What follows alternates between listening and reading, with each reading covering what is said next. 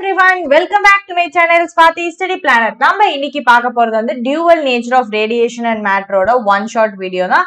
இந்த சாப்டர் பாத்தீங்கன்னா ஓரளவுக்கு வந்து சிம்பிளான சாப்டர் தான். மோஸ்ட் ஆஃப் த சாப்டர் வந்து தியரிட்டிக்கலா நம்மளுக்கு வந்து போகும். அண்ட் அட் எண்ட் வந்து பாத்தீங்கன்னா ஒரு சின்ன டெரிவேஷன் மாதிரி இருக்கும். அதுவும் ரொம்ப ஈஸியாவே தான் இருக்கும். ஸோ இந்த chapter dual nature of radiation and matter அப்படிங்கிற இந்த சாப்டர்ல மேஜரா நம்ம என்ன டிஸ்கஸ் பண்ணுவோம் அப்படின்னா ஃபோட்டோ எலக்ட்ரிக் எஃபெக்ட் ஒன்று பார்ப்போம். அண்ட் ஹெட்டிங்லேயே கொடுத்துருக்க மாதிரி டியூவல் நேச்சர் ஆஃப் மேட்டர் இது ரெண்டு தான் மேஜர் டாபிக்ஸ் அப்படின்னு சொல்லுவேன்.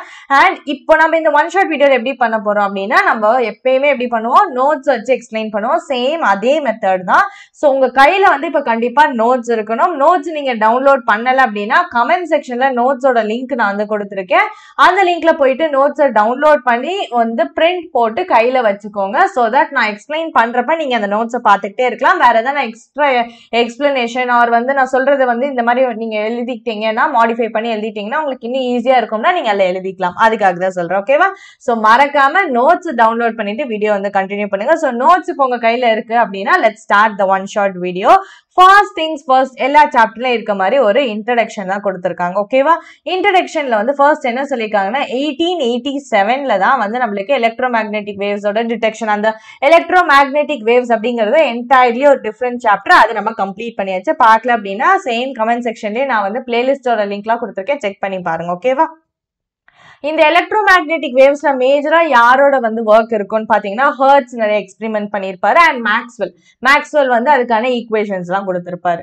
அதுக்கப்புறமேட்டு வந்து பாத்தீங்கன்னா எயிட்டீன் நைன்டி ஃபைவ்ல வந்து எக்ஸ்ரேஸை வந்து டிஸ்கவர் பண்ணாங்க. யார் டிஸ்கவர் பண்ணாருன்னா ராயிங்டன் ஓகேவா இதெல்லாம் ஜஸ்ட் வந்து உங்களுக்கு ஒன் மார்க்ல மேபி கேட்கலாம். இப்போ வந்து உங்களுக்கு ஒன் மார்க்கும் இல்லையா? ஸோ ஜஸ்ட் வந்து நீங்க தெரிஞ்சுக்கிறதுக்காக தான் இதெல்லாம் ஓகேவா மேஜரான டிஸ்கவரி என்னன்னா வந்து எயிட்டீன் நைன்டி செவன்ல வந்து எலக்ட்ரானோட டிஸ்கவரி யார் பண்ணா? ஜே ஜே தாம்சன் நம்மளுக்கு தெரியும் ஓகேவா ஸோ இந்த இதெல்லாம் இந்த என்டையர் கான்செப்ட்ஸ் எல்லாமே நம்மளுக்கு என்ன சொல்ல வராங்க அப்படின்னா இந்த நான் சொன்னல first topic that is photoelectric எஃபெக்ட்னு அந்த போட்டோ எலக்ட்ரிக் எஃபெக்டை தான் வந்து உங்களுக்கு எக்ஸ்பிளைன் பண்ண ட்ரை பண்ணுவாங்க ஓகேவா சரி. இப்போ ஃபர்ஸ்ட் என்ன பண்ணாங்க அப்படின்னா கேத்தோட் ரேஸ் அப்படிங்கறத ஒன்று டிஸ்கவர் பண்ணாங்க ஓகேவா அதோட டிஸ்கவரி வந்து அந்த டிஸ்கவரி அந்த கேத்தோட் ரேஸோட டிஸ்கவரி வச்சு தான் நெக்ஸ்ட் நெக்ஸ்ட் எலக்ட்ரான்ஸோட டிஸ்கவரி ஃபோட்டோ எலக்ட்ரிக் எஃபெக்ட் அந்த மாதிரி வந்து மூவ் பண்ணாங்க ஓகேவா சரி. இப்போ ஃபர்ஸ்ட் ஒரு எக்ஸ்பெரிமெண்ட் செஞ்சாங்க இந்த கேத்தோட் ரேஸோட டிஸ்கவரி எப்படி வந்துச்சுன்னா லோ ப்ரெஷர்ல வந்து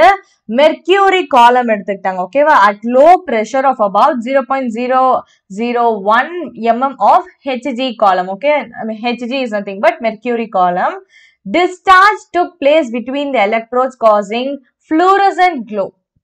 So என்ன சொன்னாங்க அப்படின்னா வந்து இது ஒரு எக்ஸ்பெரிமெண்ட் டீடைல் ப்ராசஸ் நம்மளுக்கு ஜஸ்ட் ஒரு சின்ன வந்து ஹிண்ட் மாதிரி தான் கொடுத்துருக்காங்க. ஸோ என்ன பண்ணியிருக்காங்க அப்படின்னா வந்து ஒரு டியூப் மாதிரி எடுத்திருக்காங்க. ஓகேவா ஸோ அந்த டியூப்ல எலக்ட்ரோட்ஸ் இருக்கு. ஆனோட் கேத்தோட மாதிரி எலக்ட்ரோட்ஸ் வந்து நம்மளுக்கு பிளேஸ் பண்ணியிருக்காங்க. ஓகேவா ஸோ அங்க என்ன நடந்துச்சான்? டிஸ்சார்ஜ் டிஸ்சார்ஜ்னா வந்து ஒரு இது வெளியில வர்றது. என்ன இந்த இடத்துல வெளியில வந்துச்சுன்னா ஒரு ஃப்ளூரசன் கலர்ல இருக்க க்ளோ ஒரு அந்த ஃப்ளூரசன் நியான் அந்த கலர்லாம் பார்த்துப்போம் ஸோ அந்த கலர்ல வந்து ஒரு க்ளோ வந்து தெரிஞ்சிச்சு. ஆன் பாசிங் இது எப்போ வந்து அந்த க்ளோ தெரிஞ்சிச்சு? ஒரு டியூப் மாதிரி இருக்கு. கேத்தோட ஆனோட அதுக்குள்ள இருக்கு. அதுல வந்து என்ன நடந்துச்சுன்னா ரொம்ப கம்மி ப்ரெஷர்ல தான் இது நடந்திருக்கு. எப்போ இந்த க்ளோ வந்து கிடைச்சிச்சு அப்படின்னா on passing electric field to the gas in the discharge tube discharge tube இருக்கு? கேத்தோட ஆனோட் இருக்கும் அதுக்குள்ள வந்து என்ன மெட்டீரியல் இருக்கும் கேஸ் இருக்கும் ஓகேவா ஸோ அந்த கேஸ் வந்து ரொம்ப கம்மி லோ ப்ரெஷர்ல இருக்கிறப்போ அது வழியா வந்து எலக்ட்ரிக் ஃபீல்ட பாஸ் பண்ணப்ப என்ன நடந்துச்சு? ஒரு ஃப்ளோரசன்ட் க்ளோ கிடைச்சிச்சு அப்படிங்கிறத சொல்றாங்க. ஸோ அந்த ஃப்ளோரசன்ட் க்ளோ இருந்துச்சுல்ல அந்த ஒரு நல்ல ஒரு வந்து ஷைனிங்காக அந்த மாதிரி ஃப்ளூரசன் கலர்ல இருந்தது அது எதனால வந்து உண்டாச்சு? வாட் இஸ் அ ரீசன் அப்படின்னு பார்த்தா கேத்தோட் ரேஸ் கேத்தோட் ரேஸை வந்து வில்லியம் குரோக்ஸ் அப்படிங்கிறவரு எயிட்டீன் செவன்டில கண்டுபிடிச்சாரு ஓகேவா அதுக்கப்புறமேட்டி ஒரு சொன்னார் இந்த கேத்தோடு ரேஸ்ன்னு ஒண்ணு இருக்கு. அதனாலதான் வந்து என்ன ஆகுது? இந்த மாதிரி வந்து எலக்ட்ரிசிட்டி பாஸ் ஆச்சுன்னா ஒரு க்ளோ கிடைக்குது அப்படிங்கறத இவர் சொன்னார் இந்த எக்ஸ்பெரிமெண்ட்ஸ் எல்லாம் செஞ்சு. அதுக்கப்புறமேட்டு ஜே ஜே தாம்சன் என்ன பண்ணாருன்னா இந்த கேத்தோட் ரேஸ் நீங்க ஒண்ணு சொன்னீங்கல்ல அதோட இ பை எம் ரேஷியோ ஈனது சார்ஜ் எம்னா மாஸ் சார்ஜ் பை மாஸ் ரேஷியோவை கண்டுபிடிச்சாரு. ஓகேவா அதோட வேல்யூ எவ்வளவு வந்துச்சுன்னா one point seven six into ten power eleven சார்ஜ்னா coulomb மாஸ்னா கேஜி கூலும் பர் கேஜிங்கிறத அவர் கண்டுபிடிச்சிட்டாரு. அண்ட் இன்னொன்னு என்ன சொன்னார்னா இந்த கேத்தோட் ரேஸ்ன்னு ஒன்று வந்து வில்லியம் குரூக்ஸ் கண்டுபிடிச்சார்ல அது வந்து எப்படி டிராவல் ஆகுது அப்படின்னா zero point one to zero point times C சீனா என்னது? Speed of light speed of லைட்டோட வந்து ஜீரோ பாயிண்ட் ஒன்லேருந்து to zero point two times வந்து ஒரு ஸ்பீடில் வந்து இந்த கேத்தோட் ரேஸ் மூவ் ஆகும் அப்படிங்கிறத அவர் சொன்னார் ஓகேவா சரி இந்த கேத்தோட் ரேஸ்னா இதெல்லாம் இவர் கண்டுபிடிச்சாரு? அதெல்லாம் ஓகே இப்போ இந்த கேத்தோட் ரேஸ்னா என்ன? அப்படிங்கிறத நிறைய சயின்டிஸ்ட் வந்து உட்காந்து ஆராய்ச்சி செஞ்சுட்டு இருந்தாங்க ஓகேவா சரி ஸோ அந்த கேத்தோட் ரேஸ்னா என்ன அப்படிங்கறத தான் வந்து நம்மளுக்கு ஃபைனலாக என்னன்னு சொன்னாங்கன்னா cathode rays are nothing but எலக்ட்ரான்ஸ்ன்னு சொல்லிட்டாங்க. ஸோ எலக்ட்ரிசிட்டி ஆர் எலக்ட்ரிக் ஃபீல்டை வந்து அந்த எலக்ட்ரோட்ஸ் வழியா பாஸ் பண்ணோம் அப்படின்னு சொன்னாங்கல்ல. ஸோ அந்த எலக்ட்ரோட்ஸ் வழியா நம்மளுக்கு அந்த என்ன சொல்ல எலக்ட்ரி ஃபீல்டு வந்து பாஸ் ஆனப்போ என்ன ஆச்சுன்னா ஃபர்ஸ்ட் கேத்தோடுக்கு அதை பாஸ் பண்றாங்கன்னா அங்க இருந்து அந்த கேத்தோட்லேருந்து எலக்ட்ரான்ஸ் வெளியில வந்துச்சு. அந்த கேத்தோட் எலக்ட்ரான்ஸை எமிட் பண்ணுச்சு. அந்த எலக்ட்ரான்ஸ் வெளியில வருதுல அதை தான் கேத்தோட் ரேஸ்ன்னு இனிஷியலாக சொன்னாங்க. அதுக்கப்புறமேட்டு தான் ஜே ஜே தாம்சன் இந்த மாதிரி நிறைய டிஸ்கவரிஸ் எல்லாம் செஞ்சுட்டு என்ன சொன்னார்னா they are nothing but electrons அப்படிங்கறத சொன்னார். ஓகேவா புரிஞ்சுச்சா இது? சரி. அதுக்கப்புறமேட்டு எயிட்டீன் எயிட்டி செவன்ல இதே மாதிரி எக்ஸ்பெரிமெண்ட்ஸ் பண்ணிட்டு இருக்கப்போ என்ன சொன்னாங்கன்னா இந்த டிஸ்சார்ஜ் டியூப்ல மட்டும் இல்லைங்க மெட்டல்ஸ் நீங்க எடுத்துக்கிட்டு அந்த மெட்டல்ஸ் வந்து யூ அந்த மெட்டல்ஸ்க்கு வந்து யூவி ரேடியேஷன் மெட்டல்ஸ் மேல யூவி லைட் பட்டுச்சுன்னா அப்ப அந்த மெட்டல்ஸ் என்ன emit பண்ணுச்சான் negative charges nothing but electrons emit பண்ணுச்சான் ஒரு சில மெட்டல்ஸ் வந்து யூவி லைட்டை பாஸ் பண்ண எலக்ட்ரான்ஸ் வந்து எமிட் பண்ணுச்சு. ஒரு சில மெட்டல்ஸ் வந்து அதை ஹீட் பண்ண உடனே எலக்ட்ரான்ஸ் எமிட் பண்ணுச்சு. ஸோ என்ன சொல்ல வராங்க அப்படின்னா இந்த மெட்டல்ஸ் மேல ஏதோ ஒரு கைண்ட் ஆஃப் எனர்ஜி அது யூவி லைட்டா இருக்கலாம் ஏதோ ஒரு எலக்ட்ரோ மேக்னெட்டிக் வேவ்னு ஆர் வந்து ஹீட்னு வச்சுக்கோங்க. ஸோ அது பட்ட உடனே அது என்ன பண்ணுச்சு? எலக்ட்ரானை எமிட் பண்ணுச்சு. டிஸ்சார்ஜ் டியூப்ல என்னாச்சு? எலக்ட்ரிக் ஃபீல்ட் பாஸ் பண்ணனால எலக்ட்ரான்ஸ் வெளியில வந்துச்சு. ஸோ இது எல்லாமே ஃபர்ஸ்ட் அவங்க கண்டுபிடிச்சப்போ அது நெகட்டிவ் சார்ஜஸ் கேத்தோட் ரேஸ் அப்படின்னு வித்தியாச வித்தியாசமா பேர் வச்சுட்டு இருந்தாங்க. ஃபைனலா தான் அது என்ன சொன்னாங்க? இது எல்லாத்துக்கும் ஒரு பேரு எலக்ட்ரான் தான். எல்லாத்துக்குமே காரணம். இப்ப நம்ம எல்லாத்துக்குமே பார்த்ததோட ரீசன் எலக்ட்ரான்ஸ் தான் எமிட் ஆயிருக்குங்கிறத சொன்னாங்க. புரிஞ்சுச்சா? இது ஒரு kind of introduction first topic of the chapter வந்து பாத்தீங்கன்னா எலக்ட்ரான் எமிஷன் என்ன எமிஷன் எலக்ட்ரான் எமிஷன் இப்ப நான் சொன்னேன்ல எலக்ட்ரான்ஸ் வந்து இந்த மெட்டல்ஸ்ல இருந்து எமிட் ஆச்சுன்னா அந்த கான்செப்ட் தான் இந்த இடத்துல நீங்க பார்க்க போறீங்க. ஓகேவா எலக்ட்ரான் எமிஷன் இதுல நிறைய சப் டாபிக்ஸ் இருக்கு. ஃபர்ஸ்ட் மெட்டல்ஸ் ஃப்ரீ எலக்ட்ரான்ஸ் என்ன மெட்டல்ஸ் ஓகேவா ஸோ இப்போ இதுக்கப்புறமேட்டு இந்த சாப்டர்ல என்ன பார்ப்போம்னா எப்படி வந்து மெட்டல்ஸோட சர்ஃபேஸ்ல இருந்து எலக்ட்ரான்ஸ் வெளியில வருது? இப்போ நம்ம சொன்னோம்ல ஒரு சில மெட்டல்ஸ் ஹீட் பண்ணா எலக்ட்ரான்ஸ் எமிட் பண்ணும். ஒரு சில எலக்ட்ரான்ஸ் யூவி லைட் பாஸ் ஆச்சுன்னா எலக்ட்ரான்ஸ் எமிட் பண்ணும். அந்த கான்செப்ட் தான் இப்போ நம்ம பார்க்க போறோம். ஓகேவா புரிஞ்சுச்சா இது? சரி. இப்போ என்ன சொல்றோம்னா ஜென்ரலா ஒரு மெட்டல் எடுத்துக்கிறீங்க. மெட்டல்ல நிறைய ஆர்பிட்டால்ஸ் இருக்கும் ஒரு ஷெல்ஸ் இருக்கும்னு வச்சுக்கோங்களேன். அவுட்டர் மோஸ்ட் ஆர்பிட்ல இருக்க எலக்ட்ரான்ஸ் எப்படி இருக்கும்னா லூஸ்லி பவுண்டா இருக்கும். அந்த எலக்ட்ரான்ஸ் தான் நம்ம என்னன்னு சொல்லுவோம்? ஃப்ரீ எலக்ட்ரான்ஸ் கரெக்டா இல்லையா? மெட்டல்னு எடுத்துக்கிட்டீங்கன்னா அதுல அவுட்டர் மோஸ்ட் ஆர்பிட்ல இருக்க எலக்ட்ரான்ஸ் வந்து ரொம்ப லூஸ்லி பவுண்ட் அப்படின்னா என்ன அர்த்தம்? நியூக்ளியஸுக்கும் அந்த எலக்ட்ரான்ஸுக்கும் அந்த அளவுக்கு ஒரு பாண்ட் இருக்காது. இது வந்து அந்த அளவுக்கு அதை அட்ராக்ட் பண்ணி வச்சிருக்காது. லூஸ்லி பவுண்டா இருக்கும். அந்த அவுட்டர் ஆர்பிட்ல இருக்க எலக்ட்ரான்ஸ் அதனால தான் அதான் ஃப்ரீ எலக்ட்ரான்ஸ்னு சொல்றோம். ஆனா இப்போ ஒரு எப்படி சொல்றது? பாண்டிங் கம்மியா இருக்கும். அதனால வந்து ஃப்ரீ எலக்ட்ரான்ஸ் சொல்றோம். ஃப்ரீனா என்ன அர்த்தம்னா அது நியூக்ளியஸ் கூட அட்டாச்சா தான் இருக்கு. ஆனா ரொம்ப ஸ்ட்ராங்கா அட்டாச்சா இல்ல. ரொம்ப லூஸா அட்டாச் ஆயிருக்கு. அதுதான் அர்த்தமே ஒழிய ஃப்ரீ எலக்ட்ரான்ஸ் ஃப்ரீயா வெளில போயிடும் அப்படிங்கிறது இல்ல. அப்படியே வந்து வெளியில தான் இருக்குங்கிற அர்த்தம் கிடையாது. புரிஞ்சிச்சா? சரி இப்போ அதான் இங்க கொடுத்துருக்காங்க பாருங்களேன். But they are confined to the conductor conductor are metal ஓகேவா மெட்டல் கூட அது அட்டாச்சா தான் இருக்கும். எப்படி அட்டாச் ஆயிருக்குன்னா லூஸ்லி பவுண்டா இருக்கும். லூஸா அட்டாச் ஆயிருக்கும். அந்த அளவுக்கு ஸ்ட்ராங் பாண்டிங் இருக்காது. ஃபர்ஸ்ட் ஆர்பிட்டுக்கும் நியூக்ளியஸுக்கும் வந்து I mean nucleus and first ஆர்பிட்டுக்கு பாத்தீங்கன்னா நல்ல ஸ்ட்ராங் பாண்ட் இருக்கும். அவுட்டர் மோஸ்ட் ஆர்பிட்டுக்கும் நியூக்ளியஸ்க்கும் வீக் பாண்டிங் இருக்கும். அவ்வளவுதான் வித்தியாசம். ஓகேவா புரிஞ்சிச்சா? So they are confined to the conductor. That is nothing but the metal.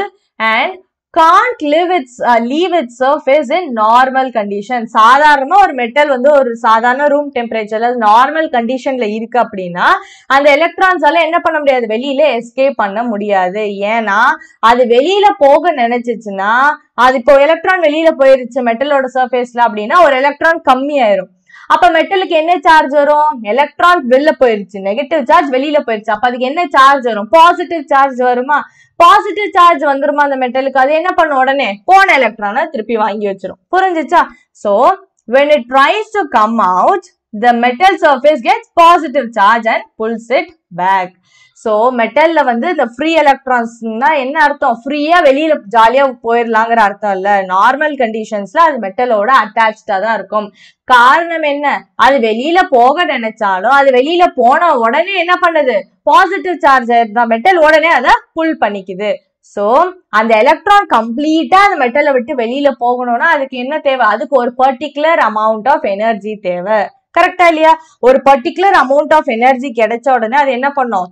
திருப்பி இந்த பாசிட்டிவ் சார்ஜ் வந்துருது மெட்டலுக்குன்னா திருப்பி புடிச்சு இழுக்குதா எலக்ட்ரானை அந்த அட்ராக்டிவ் ஃபோர்ஸையும் தாண்டி அது வெளியில போகணும்னா அதுக்கு அந்த இடத்துல வந்து ஒரு எனர்ஜி தேவை. அப்பதான் வந்து இந்த அட்ராக்ஷனையும் தாண்டி அது வெளியில போயிடும் கிளியரா so there is a potential barrier at the metal surface which has to be overcome by the electron to escape the surface. So அந்த surface of the or அந்த outer shellல என்ன இருக்கு? ஒரு potential barrier barrierனா ஒரு தடை இருக்கு. அது என்ன பண்ணுது? எலக்ட்ரானை வெளியில போகாம தடுக்குது. ஸோ அந்த பேரியரை உடைக்கணும் அப்படின்னா எலக்ட்ரானுக்கு கொஞ்சம் எனர்ஜி தேவை.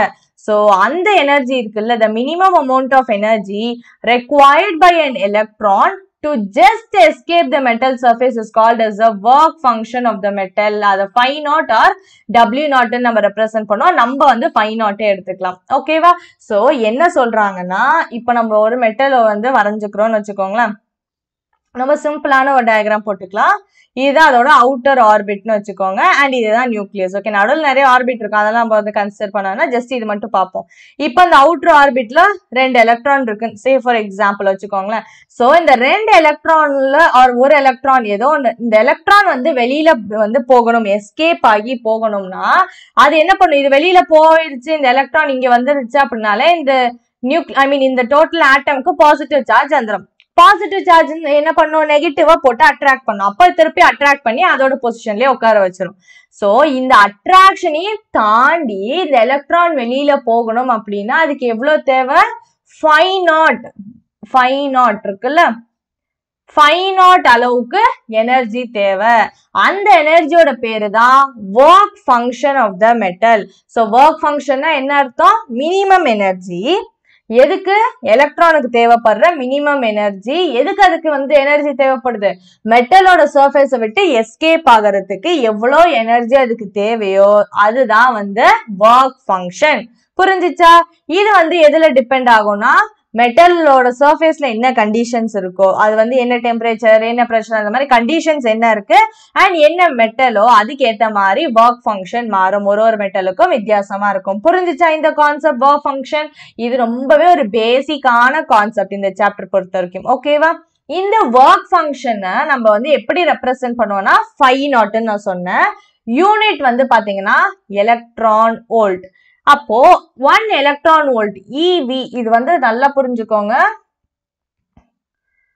இந்த electron வோல்ட்னா small letter e and capital letter V? ஓகேவா இது வந்து என்னோடதுல பாக்குறதுக்கு உங்களுக்கு ரெண்டுமே சேமா இருக்கலாம். ஸோ அதனால தான் நான் சொல்லிட்டேன் small letter e capital V? ஓகேவா ஸோ ஒன் எலக்ட்ரான் வோல்ட்னா என்ன அர்த்தம்னா kinetic energy gained by an electron when it is accelerated through a potential difference of 1 volt. So ஒரு எலக்ட்ரானை ஒன் வோல்ட் பொட்டென்ஷியல் டிஃபரன்ஸ் வழியா ஆக்சிலரேட் பண்றப்போ அது எவ்வளோ கைனட்டிக் எனர்ஜியை உள்வாங்கிக்குதோ அதுதான் வந்து one electron volt one electron வோல்ட்டோட value நீங்க கண்டிப்பா தெரிஞ்சுக்கணும். One point six zero two into ten power minus nineteen joule ஓகேவா இப்போ ஒர்க் ஃபங்க்ஷன்னா என்னன்னு புரிஞ்சிச்சு. ஒர்க் ஃபங்க்ஷனோட யூனிட் தான் எலக்ட்ரான் வோல்ட் அண்ட் இப்போ ஒர்க் ஃபங்க்ஷன் இது வந்து ஒரு முக்கியமான கொஸ்டின் ஒர்க் ஃபங்க்ஷன் வந்து பிளாட்டினம்க்கு ஹையஸ்டா இருக்கும். Five point six five electron volt சீஷியம்க்கு two point one four electron volt அதுதான் லோவஸ்ட் வேல்யூ இப்போ என்னென்ன நம்ம கத்துக்கிட்டோம்? ஃபர்ஸ்ட் திங் இந்த ஒர்க் ஃபங்க்ஷன் என்னன்னு பார்த்துட்டோம். ஒர்க் ஃபங்க்ஷன் ரெப்ரசென்ட் பண்ற யூனிட் தான் எலக்ட்ரான் வோல்ட் இந்த ரெண்டு கான்செப்ட் ஃபர்ஸ்ட் புரிஞ்சிச்சா? இப்போ மேஜர் நம்ம என்ன டாபிக் ஹெட்டிங் பார்த்தோம்? எலக்ட்ரான் எமிஷன் ஸோ எலக்ட்ரான் எமிஷன்னா என்ன அர்த்தம்? Phenomenon of emission of electron from metal surface கரெக்டா இல்லையா? மெட்டலோட சர்ஃபேஸ்ல இருந்து எலக்ட்ரான்ஸ் வந்து வெளியில போகணும். எலக்ட்ரான்ஸ் எமிட் ஆகிறது தான் வந்து எலக்ட்ரான் எமிஷன் எலக்ட்ரானை எமிட் பண்றோம். எங்கேயாவது மெட்டலோட சர்ஃபேஸ்ல இருந்து. ஓகேவா இப்போ இந்த எமிஷன் நடக்கணும்னா இப்போ இவ்வளவு நம்ம என்ன சொன்னோம்? மெட்டலோட சர்ஃபேஸ்ல இருந்து எலக்ட்ரான் எஸ்கேப் ஆகி போகணும்னா அதுக்கு ஒரு எனர்ஜி தேவைப்படும். அந்த எனர்ஜி தான் ஒர்க் ஃபங்க்ஷன் ஒர்க் ஃபங்க்ஷனை in terms of electron volt நம்ம வந்து ரெப்ரசென்ட் பண்ணுவோம். அந்த ஒர்க் ஃபங்க்ஷன் அப்படின்னு நம்ம சொல்றோம் அந்த ஒர்க் ஃபங்க்ஷன் சம்திங் பட் அந்த எனர்ஜி அந்த எனர்ஜி எப்படி இருக்கலாம்னா எப்படி கிடைக்கலாம்? தர்மோ அயோனிக் மெத்தட்ல கிடைக்கலாம். அப்படின்னா டெம்பரேச்சர் அந்த மெட்டலை ஹீட் பண்றதுனால அதுல இருக்க எலக்ட்ரான்ஸ் வெளியில போச்சு அப்படின்னா அந்த எலக்ட்ரான் எமிஷன் பேரு தர்மோ அயானிக் எமிஷன் தெர்மோ அப்படின்னாலே டெம்பரேச்சர் ஸோ ஹீட் பண்றதுனால வந்து அந்த மெட்டலுக்கு ஒர்க் ஃபங்க்ஷன் சாட்டிஸ்ஃபை ஆகி எலக்ட்ரான்ஸ் வெளியில எஸ்கேப் ஆயிடுச்சுன்னா அந்த எமிஷன் பேரு தெர்மோ அயோனிக் எமிஷன் அந்த மெத்தட்ல எலக்ட்ரான்ஸ் வெளியில போச்சுன்னா அந்த எலக்ட்ரான்ஸோட பேர் என்னன்னா thermo ions or thermo electrons இது புரிஞ்சுச்சா? Second type of electron emission வந்து field or cold cathode emission அப்படின்னா என்ன அர்த்தம்? ஃபீல்டு என்ன field electric field high electric ஃபீல்டை மெட்டலுக்கு கொடுத்து அந்த எலக்ட்ரிக் ஃபீல்டு வந்து டென் பார் த்ரீலேருந்து டென் பார் எயிட் டைம்ஸ் அந்த வோல்ட் மீட்டர் இன்வர்ஸுங்கிற ஆர்டரில் இருக்கிறப்போ நம்ம என்ன பண்றோம்? மெட்டலுக்கு ஹை எலக்ட்ரிக் ஃபீல்ட கொடுத்து அதனால அதுல இருக்க எலக்ட்ரான்ஸ்லாம் வெளியில போயிருச்சுன்னா அந்த எலக்ட்ரான் எமிஷனுக்கு பேரு தான் ஃபீல்டு எமிஷன் அப்படின்னு சொல்லுவோம். இது ஆனா அந்த அளவுக்கு எஃபிஷியன்ட் ப்ராசஸ் கிடையாது. So most efficient and most important emission என்னன்னா போட்டோ எலக்ட்ரிக் எமிஷன் அப்படின்னா என்ன? போட்டோ அப்படின்னால லைட் ஓகேவா ஸோ இந்த எமிஷன் வந்து எலக்ட்ரோ மேக்னெட்டிக் ரேடியேஷன்ஸ்னால நடந்துச்சுன்னா due to electromagnetic radiations of high frequency high ஃப்ரீக்வன்சில இருக்க எலக்ட்ரோ மேக்னெட்டிக் ரேடியேஷன்ஸ் காரணமா வந்து எலக்ட்ரான்ஸ் எமிட் ஆச்சு மெட்டல்ல இருந்துன்னா அந்த எமிஷன் பேர் என்னது? போட்டோ எலக்ட்ரிக் எமிஷன் அண்ட் அதுல எமிட் ஆர் எலக்ட்ரான்ஸ் பேர் என்னது? போட்டோ எலக்ட்ரான்ஸ் இது கிளியரா இதுதான் நம்ம மேஜரா இந்த சாப்டர்ல பார்ப்போம். நாலாவது டைப் புக்ல கொடுக்கல பட் ஸ்டில் லைட்டா வந்து தெரிஞ்சுக்கோங்க. செகண்டரி எமிஷன் அப்படின்னு என்னன்னா ஆல்ரெடி ஒரு எலக்ட்ரான் ஃபாஸ்டா மூவ் ஆயிட்டு இருக்கு அது போய் மெட்டல் மேல ஹிட் ஆன உடனே அந்த ஆல்ரெடி ஒரு எலக்ட்ரான் ரொம்ப வேகமா போயிட்டு இருக்குன்னு வச்சுக்கோங்களேன். வேகமா போயிட்டு இருந்த வந்து எலக்ட்ரான் ஒரு மெட்டல் மேல வந்து ஹிட் ஆகுது. அப்ப அது என்ன பண்ணும்? அந்த எலக்ட்ரான் அந்த எனர்ஜி எல்லாம் மெட்டலுக்கு கொடுத்துரும். அந்த எனர்ஜியை வச்சு எலக்ட்ரான்ஸ் வெளியில வந்துருச்சு. அந்த மெட்டல்ல இருக்க எலக்ட்ரான்ஸ் வெளியில வந்துருச்சுன்னா that is called a secondary emission so என்ன சொல்றாங்கன்னா இப்ப இதுதான் ஒரு மெட்டல்னு வச்சுக்கோங்க. அண்ட் வேகமா ஒரு எலக்ட்ரான் வந்து இது மேல மோதுதுன்னா இந்த எலக்ட்ரான்ல இருந்த எல்லா எனர்ஜியும் மெட்டலுக்கு போயிடும் அப்போ என்ன ஆகும் மெட்டல்ல ஆல்ரெடி இந்த ஃப்ரீ எலக்ட்ரான்ஸ் இருக்கும்ல. எப்படா எனக்கு யாரோ எனர்ஜி தருவாங்க? நான் வெளியில ஓடணும் அப்படிங்கிற மாதிரி எதாவது எது எலக்ட்ரான்ஸ் உட்காந்துருக்கும் அந்த எலக்ட்ரான்ஸ் என்ன பண்ணும்? இந்த எனர்ஜியை வாங்கிட்டு வெளியில போயிடும் இது செகண்டரி எமிஷன் ஏன்னா ஆல்ரெடி ஒரு எமிஷன் நடந்ததுனால தான் எலக்ட்ரான்ஸ் வெளியில வந்திருக்கு. அது போய் இன்னொரு எலக்ட்ரான் ஸ்டிமுலேட் பண்ணுதுங்க செகண்டரி எமிஷன் புரிஞ்சிச்சா? சோ இதுதான் ஜென்ரல் கான்செப்ட்ஸ் இப்ப மேஜர் கான்செப்ட் வந்து போட்டோ எலக்ட்ரிக் எஃபெக்ட் இதுதான் வந்து மோஸ்ட் இம்பார்ட்டன்ட் டாபிக் இந்த என்டையர் சாப்டர்லயே போட்டோ எலக்ட்ரிக் எஃபெக்ட் தான். சோ போட்டோ எலக்ட்ரிக் எஃபெக்ட்னா நம்ம என்னன்னு பார்ப்போமா? ஸோ ஃபர்ஸ்ட் ஒரு சிம்பிளான டெரிவேஷன் பார்ப்போம் ஐ மீன் ஒரு டெஃபினிஷன் மாதிரி பார்ப்போம் when light of suitable frequency illuminates a metal surface electrons are emitted from the metal surface. ரொம்ப சிம்பிள் தான். போட்டோ எலக்ட்ரிக் எஃபெக்ட்னு என்ன சொல்லுவாங்கன்னா போட்டோ அப்படின்னாலும் என்னன்னு சொன்ன லைட் ஓகேவா ஸோ லைட் எடுத்துக்கிறோம். அந்த லைட் வந்து ஒரு சூட்டபிள் ஃப்ரீக்வன்சி இருக்கும். என்ன மெட்டலோ அதுக்கேற்ற மாதிரி ஒரு லைட் எடுத்துக்கிறோம். அது வந்து அந்த லைட்டை வந்து நம்ம அந்த மெட்டல் மேல வந்து செலுத்தணும். ஒரு இலிமினேட் பண்ணோம் அந்த மெட்டலை வந்துனா அது என்ன பண்ணும்னா அந்த லைட் வந்து அந்த மெட்டல்ல படுறதுனால அந்த மெட்டல்ல இருக்க எலக்ட்ரான்ஸ் வெளியில வந்துடும் இந்த ப்ராசஸ் தான் ஃபோட்டோ எலக்ட்ரிக் எஃபெக்ட் ரொம்ப சிம்பிளான ஒரு ப்ராசஸ் தான். லைட் காரணமா வந்து இந்த மெட்டல்ல இருக்க ஃப்ரீ எலக்ட்ரான்ஸ் வெளியில வருது. அவ்வளவுதான். ஓகேவா சரி இப்போ இந்த என்டையர் வந்து போட்டோ எலக்ட்ரிக் எஃபெக்ட்ல நான் சொன்ன மாதிரி இது ஒரு முக்கியமான கான்செப்ட் தான். இதே நம்ம நிறைய டாபிக்ஸா பார்க்கலாம். ஃபர்ஸ்ட் ஹர்ட்ஸ் என்ன அப்சர்வ் பண்ணாரு? ஏன்னா அவர் தான் இந்த போட்டோ எலக்ட்ரிக் எஃபெக்டை கண்டுபிடிச்சார். அதுக்கப்புறமேட்டு வந்து ஹால் வாட்ஸ் லெனார்ட் அதுக்கப்புறமேட்டு அதோட எக்ஸ்பெரிமெண்டல் செட்டப் என்ன? அதுல இருந்து என்ன அப்சர்வ் பண்றோம்? இன்டென்சிட்டினால எப்படி இருக்கும்? அந்த மாதிரி ஒரு பெரிய டாபிக் தான் சப் டாபிக்ஸா நம்ம டிவைட் பண்ணி பார்க்க போறோம். ஓகேவா ஃபர்ஸ்ட் வந்து ஹர்ட்ஸ் அப்சர்வேஷன் இந்த phenomenon of photoelectric emission or photoelectric எஃபெக்டே discover பண்ணது ஹர்ட்ஸ் தான். எப்பனா எயிட்டீன் எயிட்டி செவன்ல ஓகேவா அவர் என்ன பண்ணிட்டு இருந்தாருன்னா எலக்ட்ரோ மேக்னெட்டிக் வேவ்ஸ் வந்து டெமான்ஸ்ட்ரேட் பண்ணிட்டு இருந்தாரு அதை வச்சு ஏதோ எக்ஸ்பெரிமெண்ட் செஞ்சுட்டு இருக்க போதான் அவர் என்ன கண்டுபிடிச்சாருன்னா ஒரு மெட்டல் மேல UV radiations UV radiations is also type of electromagnetic wave கரெக்டா இல்லையா? சோ அந்த மெட்டல் மேல யூவி ரேஸ் பட்டப்போ என்ன ஆச்சுன்னா மெட்டல்ல இருக்க எலக்ட்ரான்ஸ் எல்லாம் எமீட் ஆச்சு. ஓகேவா அண்ட் அதான் பாருங்க metal is eliminated by UV radiations or ultraviolet radiations or ultraviolet light அதனால என்ன ஆச்சுன்னா emission of electrons from the metal metal சர்ஃபேஸ்ல இருந்து எலக்ட்ரான்ஸ் எமிட் ஆச்சு. And high voltage sparks pass three pass through the metal electrode of the detector loop so என்ன பண்ணாங்க அப்படின்னா detector loop அப்படின்னா என்ன அர்த்தம்னா இப்போ எலக்ட்ரான்ஸ் எமிட்டா ஆயிருக்கா இல்லையாங்கிறது நம்ம எப்படி கண்டுபிடிக்கும் கண்ணால அப்படி வந்து யூவி லைட் பட்டுச்சா எலக்ட்ரான்ஸ் மூவ் ஆயிட்டு இருக்கு நம்மளால பார்க்க முடியாது. அதை டிடெக்ட் பண்றதுக்கு தான் எக்ஸ்பெரிமெண்டல் செட்டப் வந்து செய்வாங்க. இந்த இடத்துல வந்து சிம்பிளா என்ன சொல்லியிருக்காங்கன்னா ஒரு டிடெக்டர் லூப் மாதிரி இருந்துச்சு.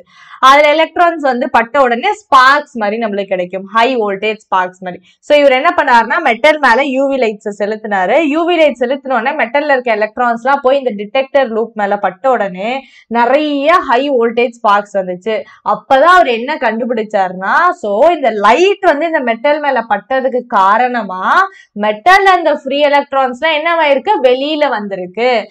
சோ இந்த ப்ராசஸ போட்டோ எலக்ட்ரிக் எஃபெக்ட் நேம் பண்ணிட்டாரு. புரிஞ்சுச்சா? என்ன சொல்லியிருக்காருன்னு? இதுதான் நிறைய சயின்டிஸ்ட் அதுக்கப்புறமேட்டு அவங்களோட வந்து ஓன் மெத்தட்ல வந்து அப்சர்வ் பண்ணிட்டு ஒரு கன்க்ளூஷன்ஸ்லாம் கொடுத்தாங்க. Fasting thing Hallwachs Hallwachs வந்து ரொம்ப சிம்பிளா தான் வந்து ஒரு எக்ஸ்பெரிமெண்ட் பண்ணியிருப்பாரு. ஜிங்க் பிளேட் எடுத்துக்கிட்டாரு. இதான் ஜிங்க் பிளேட் அது மேலே யூவி லைட்டை பட்ட உடனே அதை வந்து ஒரு நான் சொன்னல இப்போ ஹார்ட்ஸ் என்ன பண்ணாரு? டிடெக்டர் லூப்னு ஒன்று யூஸ் பண்ணாரு. யூர் என்ன யூஸ் பண்ணாருன்னா எலக்ட்ரோஸ்கோப் எலக்ட்ரோஸ்கோப்ல என்ன இருக்கும்? ரெண்டு gold leaves gold leaf electroscope first சாப்டர்ல நம்ம ப- படிச்சிருப்போம். டேர்ம் ஒன்ல ஸோ கோல்ட் லீஃப் எலக்ட்ரோஸ்கோப்னா ரெண்டு லீவ்ஸ் இந்த மாதிரி இருக்கும். கோல்ட் லீஃப் ஸோ அதுல என்ன ஆகும்னா சார்ஜ் பட்டோடனே அதுக்கு ஏற்ற மாதிரி அது டைவர்ஜோ கன்வர்ஜோ ஆகும். அது நம்ம பார்த்துருக்கோம். ஸோ அவ்வளோ நம்ம வந்து போக வேணாம் எலக்ட்ரோஸ்கோப்புங்கிறது என்ன பண்ணுவோம் சார்ஜஸ் இருக்கா இல்லையாங்கிறத கண்டுபிடிச்சு சொல்றதுக்கு தான். ஓகேவா சரி. இவர் என்ன பண்ணாருன்னா ஜிங்க் பிளேட் மேல யூவி ரேடியேஷன்ஸை வந்து பட்டுச்சு. ஐ மீன் அது மேல வந்து செலுத்தினாரு. அதை எலக்ட்ரோஸ்கோப்பு கனெக்ட் பண்ணியிருந்தாரு. ஏன்னா அப்பதானே தெரியும் என்ன சார்ஜ் இருக்கு என்ன நடக்குதுங்கிறத வந்து நம்மளால சொன்ன மாதிரி கண்ணுல பார்க்க முடியாது. டேரக்டா ஸோ அதுக்காக தான் எக்ஸ்பெரிமெண்ட் பண்ணாரு. எக்ஸ்பெரிமெண்ட் பண்ணிட்டு என்ன அப்சர்வேஷன் அவர் கொடுக்குறாரு அப்படின்னா சப்போஸ் இனிஷியலா அந்த ஜிங்க் பிளேட் வந்து நெகட்டிவ் சார்ஜா இருந்துச்சுன்னா ஜிங்க் பிளேட் நெகட்டிவ்லி சார்ஜா எடுத்துக்கிட்டாரு அப்படின்னா அந்த ஜிங்க் பிளேட் அன்சார்ஜா மாறிடுச்சு நான் ஃபர்ஸ்ட் இதெல்லாம் உங்களுக்கு நீங்க படிச்சு காமிச்சிட்டேன் அதுக்கப்புறமேட்டு ரீசன் எக்ஸ்பிளைன் பண்றேன் ஓகேவா அண்ட் இனிஷியலி சப்போஸ் அந்த ஜிங்க் பிளேட் அன்சார்ஜா இருந்துச்சு அப்படின்னா அது பாசிட்டிவ் சார்ஜா மாறிடுச்சு இந்த யூவி லைட் பட்ட உடனே. சப்போஸ் இனிஷியலி அந்த வந்து ஜிங்க் பிளேட் பாசிட்டிவ் சார்ஜா இருந்துச்சுன்னா அது இன்னும் பாசிட்டிவ் சார்ஜா மாறிடுச்சு சோ இதுல என்ன சொல்றாருன்னா ஜிங்க் பிளேட் மேல யூவி லைட் பட்டுச்சு கரெக்டா இல்லையா? யூவி லைட் பட்ட உடனே என்ன சொன்னேன்? இப்போ தான் என்ன சொன்னோம்? மெட்டல் மேல ஒரு லைட் ரேடியேஷன் பட்ட உடனே அதுல இருக்க எலக்ட்ரான்ஸ் வெளியில வந்துரும். சோ சப்போஸ் இனிஷியலி அந்த ஜிங்க் பிளேட்ல நிறைய நெகட்டிவ் சார்ஜ் இருந்துச்சு அப்படின்னா அது மேல லைட் பட்ட உடனே என்ன ஆகும்? இருக்க நெகட்டிவ் சார்ஜஸ் எல்லாம் வந்து எலக்ட்ரோஸ்கோப்புக்கு போயிடும் இந்த செட்டப் படி பார்த்தோம்னா. அப்ப ஜிங்க் பிளேட் என்னவா மாறிடும் அன்சார்ஜ் தான் மாறிடும் அதான் இந்த ஃபர்ஸ்ட் பாயிண்ட் புரிஞ்சுச்சா? சப்போஸ் இனிஷியலி அந்த ஜிங்க் பிளேட்ல எந்த விதமான சார்ஜஸும் இல்ல. அப்படின்னா என்ன ஆகும் அது மேல லைட் பட்ட உடனே அதுல ஜிங்க் ஜெட்டன் எடுத்துக்கிட்டோம்னா அதுல இருக்கும்ல ஃப்ரீ எலக்ட்ரான்ஸ் அந்த ஃப்ரீ எலக்ட்ரான்ஸ் எல்லாமே என்னவாயிரும்? எலக்ட்ரோஸ்கோப்புக்கு போயிடும் மிச்சம் என்ன இருக்கும்? பாசிட்டிவ் சார்ஜஸ் மட்டும் இருக்கும். So it will become positively charge suppose zinc plate இனிஷியலா பாசிட்டிவ் சார்ஜா இருந்துச்சு. அது மேல யூவி ரேடியேஷன்ஸ் பட்டுச்சுன்னா மிச்சம் மீதி இருக்க எலக்ட்ரான்ஸும் வெளியில போயிடும் வெளியில இந்த சென்ஸ் எலக்ட்ரோஸ்கோப்புக்கு போயிடும் அப்போ அது இன்னும் அதிகமா பாசிட்டிவ்லி சார்ஜா மாறிடும். புரிஞ்சு ஸோ சோ அதுதான் கன்க்ளூட் பண்ணார் ஹால்வாட்ச் என்ன சொன்னார் அப்படின்னா some negative charges were emitted by the zinc plate zinc plate மேல யூவி லைட் பட்ட உடனே அது ஒரு சில நெகட்டிவ் சார்ஜஸ் எமிட் பண்ணுச்சு. அந்த நெகட்டிவ் சார்ஜஸ் தான் நம்ம என்னன்னு சொல்றோம்? எலக்ட்ரான்ஸ் சொல்றோம். புரிஞ்சிச்சா இந்த கான்செப்ட் இது வந்து ஹால்வாட் சொன்னது. ரெண்டாவதா வந்து லெனார்ட் அப்படிங்கிறவர் தான் வந்து மேஜர் எக்ஸ்பிரிமெண்ட்டை வந்து நம்மளுக்கு கொடுத்தாரு. நைன்டீன் ஹண்ட்ரட்ல அவர் என்ன சொன்னார்னா இதை வந்து ஃபர்ஸ்ட் ரொம்ப சிம்பிளா த்ரீ பாயிண்ட்ஸ்ல வந்து நம்ம பார்ப்போம். இதே எக்ஸ்பெரிமெண்ட் தான் நெக்ஸ்ட் பேஜ்ல டீடைலா கொடுத்துருக்கோம். ஃபர்ஸ்ட் வந்து பேசிக்ஸ் அண்டர்ஸ்டாண்ட் பண்ணிக்கலாம். ஓகேவா ஸோ ஒன் மினிட் சரி. இப்போ என்ன சொன்னார்னா ஐ மீன் லெனார்டு என்ன பண்ணாருன்னா சேம் யூவி லைட்டே எடுத்துக்கிட்டாரு. இவரு ஃபர்ஸ்ட் ஒரு எவாக்குவேட்டட் கிளாஸ் டியூப் எடுத்துக்கிட்டாரு. என்னது? எவாக்குவேட்டட் கிளாஸ் டியூப் அந்த கிளாஸ் டியூப்ல எமிட்டர் பிளேட்னு ஒன்று இருக்கும் அண்ட் இன்னொன்று கலெக்டர் பிளேட்னு ஒன்று இருக்கும். ஸோ ஒரு கிளாஸ் டியூப் எவாக்குவேட்டர்னா அந்த இடத்துல வேக்யூம் காத்து இல்லை வேக்யூம் தான் இருக்கு okay so evacuated glass tube எடுத்துக்கிட்டாரு. ஒரு எண்டுல எமிட்டர் பிளேட்னு ஒன்று இருக்கும். அப்படின்னா எலக்ட்ரான்ஸ் எமிட் பண்ற பிளேட் இன்னொரு ஓரத்துல வந்து கலெக்டர் பிளேட்ஸ் எலக்ட்ரான்ஸ் வெளியில போயிருக்குன்னா அதை வாங்கிக்கிற பிளேட் கலெக்டர் பிளேட் ஓகேவா சரி இதுதான் இவர் பண்ண சிம்பிள் செட்டப் நான் இப்போதைக்கு உங்களுக்கு சொல்றதுக்கு. இவர் என்ன பண்ணாருன்னா இந்த எமிட்டர் பிளேட் இருக்குல்ல அது மேல யூவி ரேடியேஷன்ஸை வந்து செலுத்தினாரு. அப்ப என்ன ஆகும்? யூவி ரேடியேஷன்ஸ் அது மேல பட்ட உடனே அது வந்து ஒரு மெட்டல் பிளேட் தான். அப்ப அது என்ன ஆகும்? மெட்டல் அப்படிங்கிறது மேல வந்து யூவி லைட் பட்ட உடனே அது எல்லா எலக்ட்ரான்ஸையும் எமிட் பண்ணிருமா? அந்த எலக்ட்ரான்ஸ் எல்லாம் அந்த கலெக்டர் பிளேட்டுக்கு போயிடும் அது எல்லா எலக்ட்ரான்ஸையும் வாங்கிக்கும். இதனால என்னாச்சு? Electron flow is nothing but current உண்டாச்சு. So current flow in the circuit suppose UV லைட்டை ஸ்டாப் பண்ணிட்டோம்னா கரண்ட் ஃப்ளோ ஆகல. இதுல இருந்து தான் அவர் என்ன கன்க்ளூட் பண்ணாருன்னா யூவி ரேடியேஷன்ஸ் அந்த மெட்டல் மேல பட்டதன் காரணமா தான் அந்த மெட்டல்ல இருந்து எலக்ட்ரான்ஸ் வெளியில வந்துச்சு. அந்த யூவி ரேடியேஷன்ஸ் படல அப்படின்னா எலக்ட்ரான்ஸ் வெளியில வராதுங்கிறத கன்க்ளூட் பண்ணி என்ன சொன்னார்னா இதுவும் போட்டோ எலக்ட்ரிக் எஃபெக்ட் தான். I mean photo electric effect அவங்கவுங்க டிஃப்ரெண்ட் மெத்தடாலஜிஸ்ல ப்ரூவ் பண்ணிட்டு வராங்க. அவ்வளவுதான். ஓகேவா so UV light cast emission of electrons which was attracted by collector plate so அதான் நான் சொன்னேன். இந்த எமிட்டர் பிளேட்டுன்னு ஒன்று இந்த இடத்துல இருக்கு. அது மேலே யூவி லைட் பட்ட உடனே அது என்ன பண்ணுது? எலக்ட்ரான்ஸ் எமிட் பண்ணுது. எமிட் பண்ண எலக்ட்ரான்ஸ் எங்கே போகுது? கலெக்டர் பிளேட்டுக்கு போகுது. அது எல்லா எலக்ட்ரான்ஸையும் வாங்கிக்கும். ஸோ ஒரு கரண்ட் மாதிரி ஃப்ளோ ஆகும் அந்த எவாக்குவேட்டட் கிளாஸ் டியூப்ல இதுதான் ஹால்வாட்ச் அண்ட் லெனார்டோட எக்ஸ்பிரிமெண்ட் ரெண்டு எக்ஸ்பிரிமெண்ட்ஸுமே டிஃப்ரெண்ட் ஆனது. ஆனால் அவங்க கொண்டு வர கன்க்ளூஷன் சேம் தான். புரிஞ்சுச்சா? ரெண்டு பேருமே போட்டோ எலக்ட்ரிக் எஃபெக்ட் தான் ஜஸ்டிஃபை பண்ணாங்க. அண்ட் இன்னொன்று முக்கியமாக என்ன அப்சர்வ் பண்ணாங்க இந்த ரெண்டு எக்ஸ்பிரிமெண்ட்ஸ்லேயும் அப்படின்னா இந்த யூவி லைட் யூவி லைட்னு சொல்லிட்டு இருக்கோம்ல அதுக்கும் ஒரு பர்டிகுலர் ஃப்ரீக்வன்சி இருக்கும். ஸோ என்ன சொன்னாங்கன்னா they observe that when the frequency of the incident light அந்த மெட்டல் மேல நம்ம ஒரு லைட்டு செலுத்துறோம்ல அந்த லைட்டுக்குன்னு ஒரு பர்டிகுலர் ஃப்ரீக்வன்சி இருக்கும். அந்த ஃப்ரீக்வன்சி பாருங்க they observe that when the frequency of the incident light was less than a certain minimum value. அந்த சர்டன் மினிமம் வேல்யூ பேரு த்ரெஷோல் frequency தான். No photo electrons were emitted என்ன சொல்றாங்கன்னா நம்ம லைட் வந்து செலுத்துறோம்ல ஒரு லைட் வந்து நம்ம வந்து அனுப்புறோம் அந்த மெட்டல் மேல படுறதுக்கு. அந்த லைட்டோட ஃப்ரீக்வன்சி வந்து ஒரு பர்டிகுலர் மினிமம் வேல்யூக்கு கம்மியா இருந்துச்சுன்னா இந்த ப்ராசஸ் நடக்காது எலக்ட்ரான்ஸ் வெளியில வராது. ஸோ மினிமம் வேல்யூன்னு எல்லாத்துக்கும் ஒன்று இருக்கும். அதுக்கு மேலே நம்ம ஃப்ரீக்வன்சி இருக்க லைட்டை கொடுத்தோம்னா ஃபோட்டோ எலக்ட்ரிக் எமிஷன் நடக்கும். அதுக்கு கீழே இருக்க ஃப்ரீக்வன்சி வந்து கொடுத்தோம்னா ஃபோட்டோ எலக்ட்ரிக் எமிஷன் நடக்காது. அந்த மினிமம் வேல்யூ அந்த லெவல் இருக்குல்ல அந்த மினிமம் ஃப்ரீக்வன்சி பேர் தான் த்ரெஷோல்டு ஃப்ரீக்வன்சி என்ன ஃப்ரீக்வன்சி த்ரெஷோல்டு ஃப்ரீக்வன்சி ஓகேவா புரிஞ்சிச்சா இது? நெக்ஸ்ட் என்ன சொன்னாங்கன்னா ஒரு ஒரு மெட்டலுக்கு ஏத்த மாதிரி நம்ம ஒரு லைட் கொடுக்கணும். எல்லாத்துக்குமே யூவி லைட் தான் கிடையாது. இப்போ காப்பர் ஜிங்க் கேட்மியம் மெக்னீசியம் அலுமினியம்க்குலாம் யூவி லைட் ஓகே ஹெவி மெட்டல்ஸ்லாம் எடுத்துக்கிட்டிங்கன்னா எக்ஸ்ரேஸ் கொடுக்கணும். இதே alkali metals lithium sodium potassium caesium இந்த மாதிரி ஆல்கலி மெட்டல்ஸ்லாம் எடுத்துக்கிட்டிங்கன்னா விசிபிள் லைட் மட்டுமே போதும். ஏன்னா அது எல்லாமே ஃபோட்டோ சென்சிட்டிவ் ரொம்ப லைட் கொஞ்சம் லைட் பார்த்தாலே போதும் எலக்ட்ரான்ஸ் எமிட் பண்ணிடும் ஹைலி ஃபோட்டோ சென்சிட்டிவா இருக்கிறதுனால விசிபிள் லைட்டே அதுக்கு போதும். ஸோ ஒரு ஒரு மெட்டலுக்கு ஏற்ற மாதிரி நம்ம லைட்டு கொடுக்கணும் அப்படிங்கிறதையும் சொன்னாங்க. ஓகேவா இப்போ ப்ராப்பர் டெஃபினிஷன் போட்டோ எலக்ட்ரிக் எஃபெக்டோட ப்ராப்பர் டெஃபினிஷன் பார்ப்போம். போட்டோ எலக்ட்ரிக் எஃபெக்ட்னா என்னன்னா the phenomenon of emission of electrons எங்கேருந்து? ஃப்ரம் அ மெட்டல் சர்ஃபேஸ் எப்போ? When electromagnetic radiations are sufficiently high frequency are incident on it. அவ்வளவுதான். அதை பிஇஇ அப்படின்னு ஷார்ட் ஃபார்ம்ல வந்து சொல்லுவாங்க. ஸோ கொஸ்டின் பேப்பர்ல பிஇஇன்னு கொடுத்தாங்கன்னா போட்டோ எலக்ட்ரிக் எஃபெக்ட் ஓகேவா ஸோ போட்டோ எலக்ட்ரிக் எஃபெக்ட்னா என்னது? மெட்டல் சர்ஃபேஸ் மேல எலக்ட்ரோ மேக்னெட்டிக் ரேடியேஷன்ஸ் படுது. அந்த எலக்ட்ரோ மேக்னெட்டிக் ரேடியேஷன்ஸ்க்கு ஒரு ஹை ஃப்ரீக்வன்சி இருக்கணும். அந்த மினிமம் வேல்யூக்கு கம்மியா இருந்துச்சுன்னா இந்த வேலையே நடக்காது. போட்டோ எலக்ட்ரிக் எமிஷனே நடக்காது.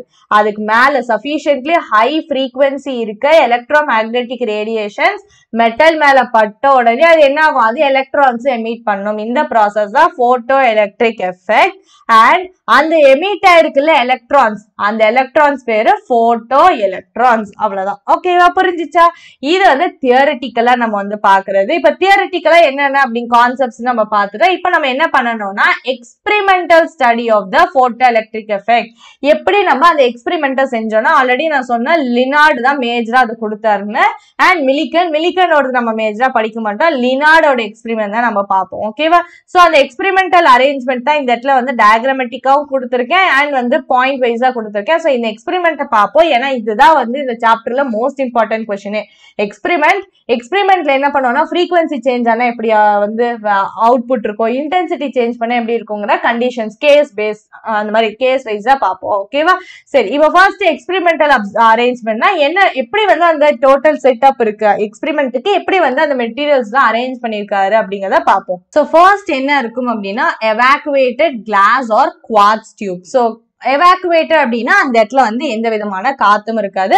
ஒரு வேக்யூம் அப்படிங்கிற கண்டிஷன் தான் ஓகேவா அந்த டியூப் வந்து எப்படி செஞ்சிருக்கலாம்? கிளாஸ்ல செஞ்சிருக்கலாம் ஒரு குவாட்ஸ்ல செஞ்சிருக்கலாம். அதுக்குள்ள வந்து என்ன இருக்கும்னா மெட்டல் பிளேட்ஸ் இருக்கும். கேத்தோட் ஆனோட் எலக்ட்ரோட்ஸ் இருக்குல்ல அந்த மாதிரி வந்து மெட்டல் பிளேட்ஸ் இருக்கும். ஒரு மெட்டல் பிளேட் வந்து சீனு பேர் கொடுப்போம். அது வந்து collector plate sorry it is a photosensitive plate or emitter plate ஓகேவா எமிட் எமிட்டர் பிளேட்னா என்ன அர்த்தம்? அதுதான் வந்து ரேடியேஷன்ஸை வாங்கிட்டு எலக்ட்ரான்ஸை எமிட் பண்ணும். அதுதான் பிளேட் சி பிளேட் ஏ வந்து கலெக்டர் பிளேட் இந்த வந்து எமிட் பண்ண வந்து எலக்ட்ரான்ஸ் வந்து கலெக்ட் பண்றது தான் வந்து இந்த ஏவோட வேலை. ஓகேவா இது புரிஞ்சிச்சா? சோ வந்து நம்மளுக்கு two different types of plates இருக்கு.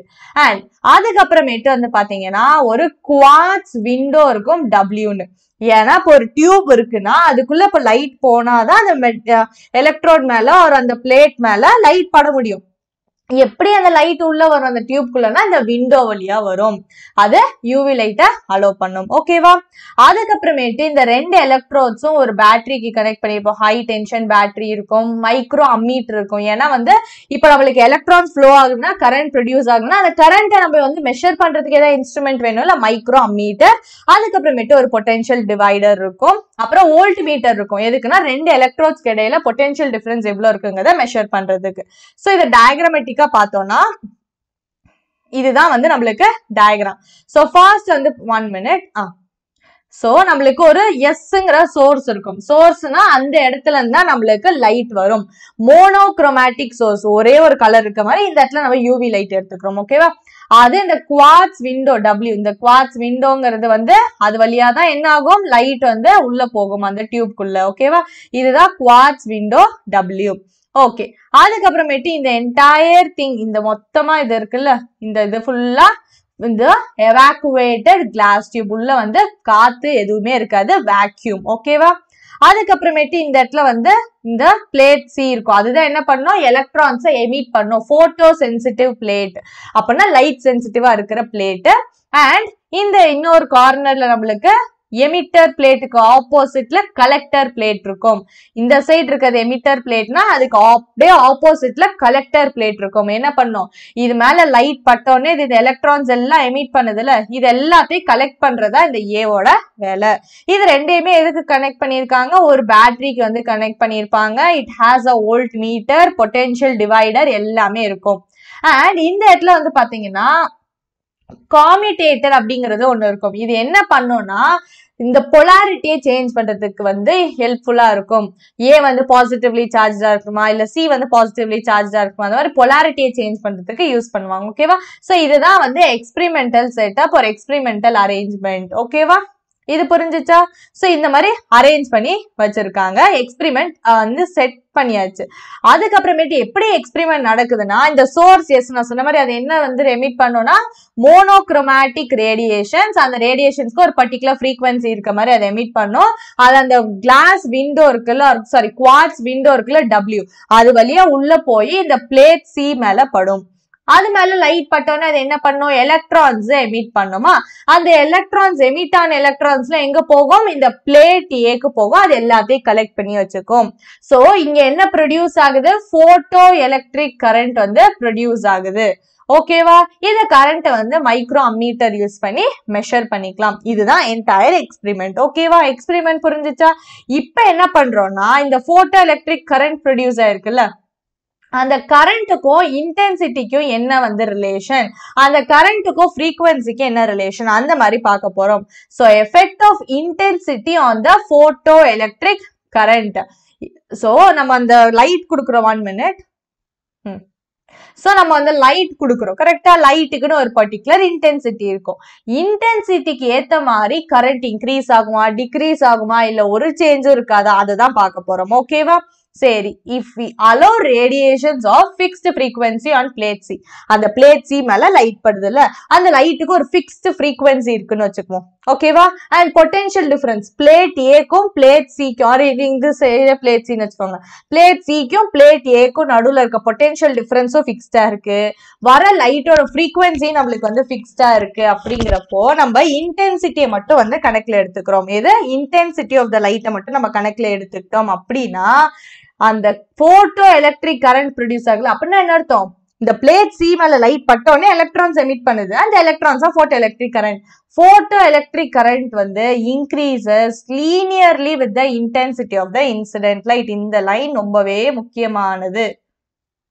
என்ன சொல்லியிருக்காங்க? இன்டென்சிட்டி அதிகமாச்சுன்னா நம்ம கொடுக்குற லைட் கொடுக்குறோம்ல அந்த லைட்டோட இன்டென்சிட்டி அதிகமாச்சுன்னா ப்ரொடியூஸ் ஆகுற கரண்ட்டும் அதிகமா இருக்கும்னு சொல்றாங்க. அவ்வளவுதான். சோ இதுதான் வந்து கிராஃப் பாத்துக்கோங்க நம்மளுக்கு போட்டோ எலக்ட்ரிக் கரண்ட் வந்து ஒய் ஆக்சிஸ்ல எடுத்துக்கிறோம். இன்டென்சிட்டி எக்ஸ் ஆக்சிஸ் எடுத்துக்கிட்டோம் நம்மளுக்கு ஒரு ஸ்ட்ரைட் லைன் கிராஃப் வந்து கிடைக்கும். அப்படின்னா என்ன அர்த்தம்? இன்டென்சிட்டி அதிகமாக ஆக கரண்ட்டும் இன்க்ரீஸ் ஆகிட்டே இருக்கும். ஏன் அப்படின்னா கரண்ட் இன்க்ரீஸ் ஆகுதுன்னா என்ன அர்த்தம்? Number of photo electrons increase ஆகுது. இப்போ அந்த பிளேட் சி மேல லைட் பட்டுச்சு. ஓகேவா லைட் பட்ட உடனே அது எலக்ட்ரான்ஸ் எமிட் பண்ணும். நிறைய எலக்ட்ரான்ஸ் எமிட் பண்ணுச்சுன்னா நிறைய கரண்ட் ப்ரொடியூஸ் ஆகும். கரெக்டா இல்லையா? ஒரு செகண்டுக்கு நிறைய போட்டோ எலக்ட்ரான்ஸ் வெளியில வந்துச்சுன்னா அதிகமான கரண்ட் ஜென்ரேட் ஆகுதுன்னு சொல்லுவோம். ஓகேவா அப்போ இன்டென்சிட்டி அதிகமானா கரண்ட் வந்து எப்படி இன்க்ரீஸ் ஆகுது? அதிக இன்டென்சிட்டி லைட் அந்த மெட்டல்ல பட்டுச்சுன்னா நிறைய எலக்ட்ரான்ஸ் வந்து எமிட் ஆயிரும். நிறைய எலக்ட்ரான்ஸ் எமிட் ஆயிடுச்சுன்னா போட்டோ எலக்ட்ரிக் கரண்ட்டும் இன்க்ரீஸ் ஆகும். அதுதான் கான்செப்ட் ஓகேவா so as photoelectric current is directly proportional to number of photoelectrons emitted per second எவ்வளோ கரண்ட்னா வந்து என்ன அர்த்தம்? நிறைய போட்டோ எலக்ட்ரான்ஸ் வந்து எமிட் ஆச்சுன்னா நிறைய கரண்ட் இருக்கும்னு அர்த்தம். அதான் directly proportional we can say that number of photoelectrons emitted per second ஒரு செகண்டுக்கு எவ்வளவு போட்டோ எலக்ட்ரான்ஸ் எமிட் ஆகுது அப்படிங்கிறது எதுக்கு ப்ரொபோர்ஷனலா இருக்கும்? இன்டென்சிட்டிக்கு ப்ரொபோர்ஷனலா இருக்கும். இப்போ ஃபைனலா என்ன கன்க்ளூஷன் நம்ம இதுலன்னு சொல்லலாம்னா இன்டென்சிட்டி அதிகமாச்சுன்னா எமிட் ஆகிற போட்டோ எலக்ட்ரான்ஸோட நம்பர் அதிகமாகும். அப்போ போட்டோ எலக்ட்ரிக் கரண்ட் இன்க்ரீஸ் ஆகும். ஃபர்ஸ்ட் ஒன் புரிஞ்சுச்சா? ரொம்ப சிம்பிளானது ரெண்டாவது வந்து எஃபெக்ட் ஆஃப் பொட்டென்ஷியல் ஓகேவா இப்போ பொட்டென்ஷியல் வந்து நம்ம சேஞ்ச் பண்றோம் அப்படின்னா அதுக்கு எப்போ ஐ மீன் அதுக்கு ஏத்த மாதிரி எப்படி வந்து நம்மளுக்கு வேல்யூஸ் இன்க்ரீஸ் ஆகுமா டிக்ரீஸ் ஆகுமா அதான் பார்க்க போறோம். சரி இப்போ லைட்டோட இன்டென்சிட்டி ஐ ஒன்னு எடுத்துக்கிறோம் அதோட ஃப்ரீக்வன்சி நியூன்னு எடுத்துக்கிறோம். ஓகேவா பொட்டென்ஷியல் வந்து இன்க்ரீஸ் பண்ணிட்டே போறீங்க. எது? பிளேட் ஏ கலெக்டர் பிளேட் இருக்குல்ல அதோட பொட்டென்ஷியல் இன்க்ரீஸ் பண்றீங்க. As we increase accelerating potential accelerating பொட்டென்ஷியல்னா பாசிட்டிவ் பொட்டென்ஷியல் வேல்யூ வந்து பாசிட்டிவா வந்து இன்க்ரீஸ் பண்ணிட்டே போறீங்க ஓகேவா as we increase accelerating potential on A gradually. ஒட்டரே சடனா ஜீரோல இருந்து ஹண்ட்ரட்ல பொறுமையா zero five ten fifteen twenty கிராஜுவலா increase பண்ணிட்டே போறீங்க ஓகேவா ஸோ பொட்டென்ஷியல் ஆஃப் ஏ ஏவோட பொட்டென்ஷியலை நீங்க இன்க்ரீஸ் பண்ண பண்ண என்ன ஆகும்னா அதுல கரண்ட் இன்க்ரீஸ் ஆயிட்டே இருக்கும். ஒரு பர்டிகுலர் ஸ்டேஜ் வரைக்கும் தான் இன்க்ரீஸ் ஆகும் ஸோ அதான் பாருங்க as we increase accelerating potential on A gradually photoelectric current increases so அது வந்து எவ்வளோ தூரம் இன்க்ரீஸ் ஆகும்னா till stage is reach when photoelectric current becomes maximum அந்த மேக்சிமம் கரண்டோட பேரு தான் saturation current and doesn't increase any further with increase in accelerating potential so அதை கிராஃப் வச்சு நம்ம பார்ப்போமா இந்த இடத்துல நம்மளுக்கு இருக்கும் பாருங்க. சோ பாசிட்டிவா நீங்க வந்து இன்க்ரீஸ் பண்ணிட்டே போறீங்க அப்படின்னா ஒன் மினிட்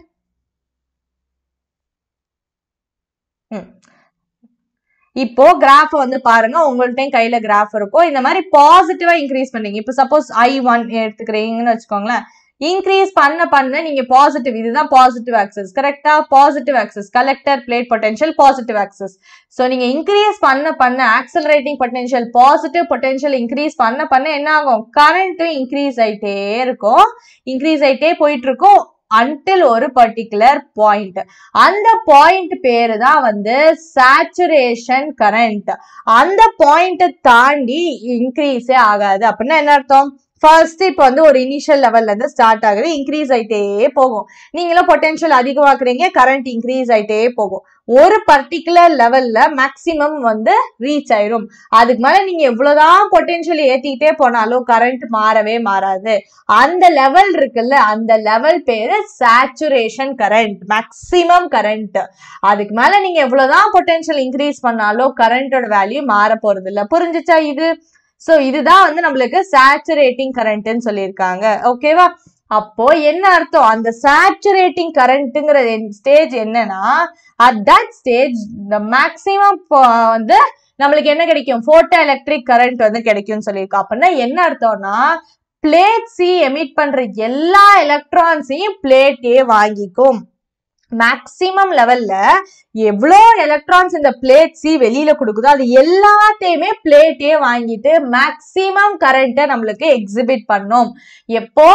அந்த ஒரு பர்டிகுலர் வந்து பொட்டென்ஷியல் வேல்யூல வந்து மேக்சிமம் கரண்ட்டை ரீச் ஆயிரும். ஓகேவா ஸோ அதுக்கு மேல நீங்க எவ்வளவுதான் பொட்டென்ஷியல் அதிகமாக்குனாலும் கரண்ட்டு அவ்வளவுதான். ஏ- அப்பயே அது எல்லா எலக்ட்ரான்ஸையும் வாங்கிடுச்சு அதுக்கு மேல வந்து இது அவ்வளவுதான் எலக்ட்ரான் ரிலீஸ் பண்ணணும். எல்லாத்தையுமே ஏன் வாங்கிடுச்சு அதுக்கு மேல அதிகமாகறதுக்கு வாய்ப்பு இல்ல புரிஞ்சுச்சா? இது பாசிட்டிவ் ஆக்சஸ்ல இன்க்ரீஸ் பண்ணீங்கன்னா suppose negative if we apply a negative potential on the plate A and increase its magnitude direct, uh, gradually இதுதான் நிறைய பேருக்கு வந்து கன்ஃபியூஸ் ஆகும். இங்க பாருங்க. If we apply a negative potential negative potential minus one minus two அந்த மாதிரி negative potential on A and increase its மேக்னிடியூட்னா என்ன அர்த்தம்? மைனஸ் ஒன்ல இருந்து minus two minus three magnitude மட்டும் பாருங்க. ஒன் டூ த்ரீ ஃபோர்னு நெகட்டிவ் ஆக்சஸ்ல வந்து இன்க்ரீஸ் பண்றீங்க. இந்த பாயிண்ட் ரொம்ப ரொம்ப முக்கியமானது. If apply negative potential negative சைட்ல இந்த ஆக்சஸ்ல வந்து இப்போ பாசிட்டிவ்னா இந்த ஆக்சஸ் நெகட்டிவ்னா இந்த ஆக்சஸ் ஓகேவா ஃபர்ஸ்ட் இந்த சைடு இன்க்ரீஸ் பண்ணீங்க சேச்சுரேஷன் கரண்ட்னு பார்த்தோம். சப்போஸ் நீங்க இப்போ இந்த சைடு இன்க்ரீஸ் பண்ணிட்டே போறீங்க. இப்படி போயிட்டே இருக்கீங்கன்னா minus one minus two minus three minus ஃபோர்னு அதுதான் வந்து increase and magnitude increase and மேக்னிடியூட்னா என்ன அர்த்தம்? நெகட்டிவ்ல மேக்னிடியூட அதிகப்படுத்திட்டே போறீங்க. ஒன்ல இருந்து டூ டூல இருந்து த்ரீ ஃபோர் ஃபைவ்னு நெகட்டிவ் ஆக்சஸ்ல பாயிண்ட் புரிஞ்சிச்சா? அந்த மாதிரி நீங்க இன்க்ரீஸ் பண்ணிட்டே போனீங்கன்னா நம்மளுக்கு என்ன ஆகும்? கரண்ட் குறைஞ்சிக்கிட்டே இருக்கும். Until it becomes zero for a certain value of the negative potential on A. பாசிட்டிவா நீங்க பொட்டென்ஷியல் மாத்தினீங்கன்னா பாசிட்டிவா இருக்கிறப்ப அது நிறைய எலக்ட்ரான்ஸ் அட்ராக்ட் பண்ணிட்டே இருக்கும். நம்ம சேச்சுரேஷன் கரண்ட் கிடைக்கும்.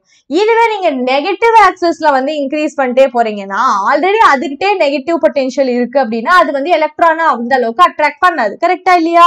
சோ நீங்க நெகட்டிவ்ல பொட்டென்ஷியல் அதிகமாக்காக்க என்ன ஆகும் அது அந்த அளவுக்கு எலக்ட்ரான்ஸ் வந்து ஐ மீன் கலெக்ட் பண்ணிக்காது கரண்ட் குறைஞ்சுக்கிட்டே வரும்.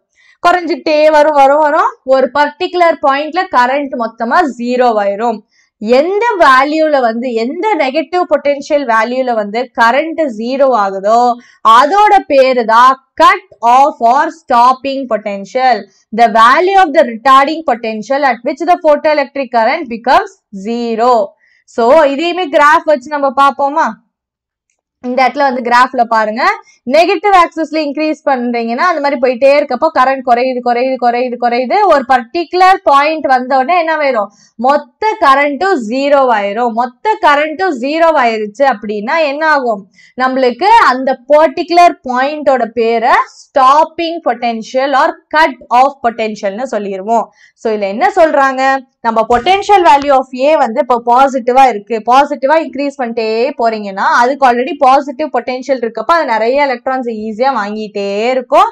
நம்மளுக்கு இன்க்ரீஸ் ஆயிட்டே இருக்கும். ஒரு பர்டிகுலர் பாயிண்ட்ல சேச்சுரேஷன் அட்டைன் ஆயிரும். அது பேரு சேச்சுரேஷன் கரண்ட் நெகட்டிவ் ஆக்சஸ்ல நீங்க அப்படியே வந்து போயிட்டே இருந்தீங்கன்னா கரண்ட் குறைஞ்சிட்டே இருக்கும். ஏன்னா ஆல்ரெடி அதுக்கிட்ட நெகட்டிவ் சார்ஜ் நீங்க அதிகப்படுத்திட்டு இருக்கீங்கன்னா அது எலக்ட்ரான் எலக்ட்ரான் ரிப்பல் பண்ணிட்டு ரொம்ப ரொம்ப பவர்ஃபுல்லா இருக்க எலக்ட்ரான் ரொம்ப ஃபாஸ்டா நல்ல எனர்ஜி இருக்க எலக்ட்ரான் மட்டும்தான் அட்ராக்ட் பண்ணுமே ஒழிய மத்த எல்லாம் பெருசா அட்ராக்ட் பண்ண ஆல்ரெடி அதுக்கே நெகட்டிவ் இருக்குன்னா அது என்ன இன்னுமா நெகட்டிவ் வாங்கும்? இல்லல்ல.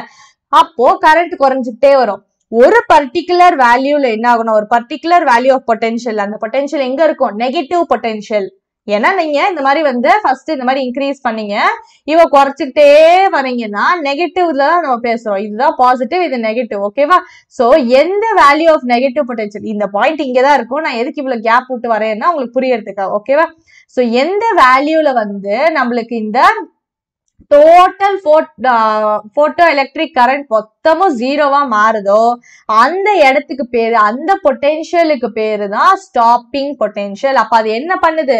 எல்லா எல்லா எலக்ட்ரான்ஸையும் ஐ மீன் எலக்ட்ரான்ஸ் ஜென்ரலா ஸ்டாப் பண்ணிடுது இந்த பிளேட் ஏக்கு வராம ஸ்டாப் பண்ற பொட்டென்ஷியல் எலக்ட்ரான்ஸ் வந்து எமிட் ஆயிட்டே இருக்கு. ஆனா என்ன பண்ணுது இந்த பிளேட் ஏ அதோட ஸ்டாப்பிங் பொட்டென்ஷியல் பாயிண்ட்டுக்கு போயிருச்சுன்னா அந்த எலக்ட்ரானை வந்து மொத்தமா ஸ்டாப் பண்ணிடுது புரிஞ்சுச்சா? சோ அதுதான் இந்த இடத்துல நம்மளுக்கு கொடுத்துருப்பாங்க. The value of the retarding potential ஏன் ரிட்டார்டிங் potential கொடுத்துருக்காங்கன்னா நெகட்டிவ் பொட்டென்ஷியல்னு சொன்னோமா இல்லையா?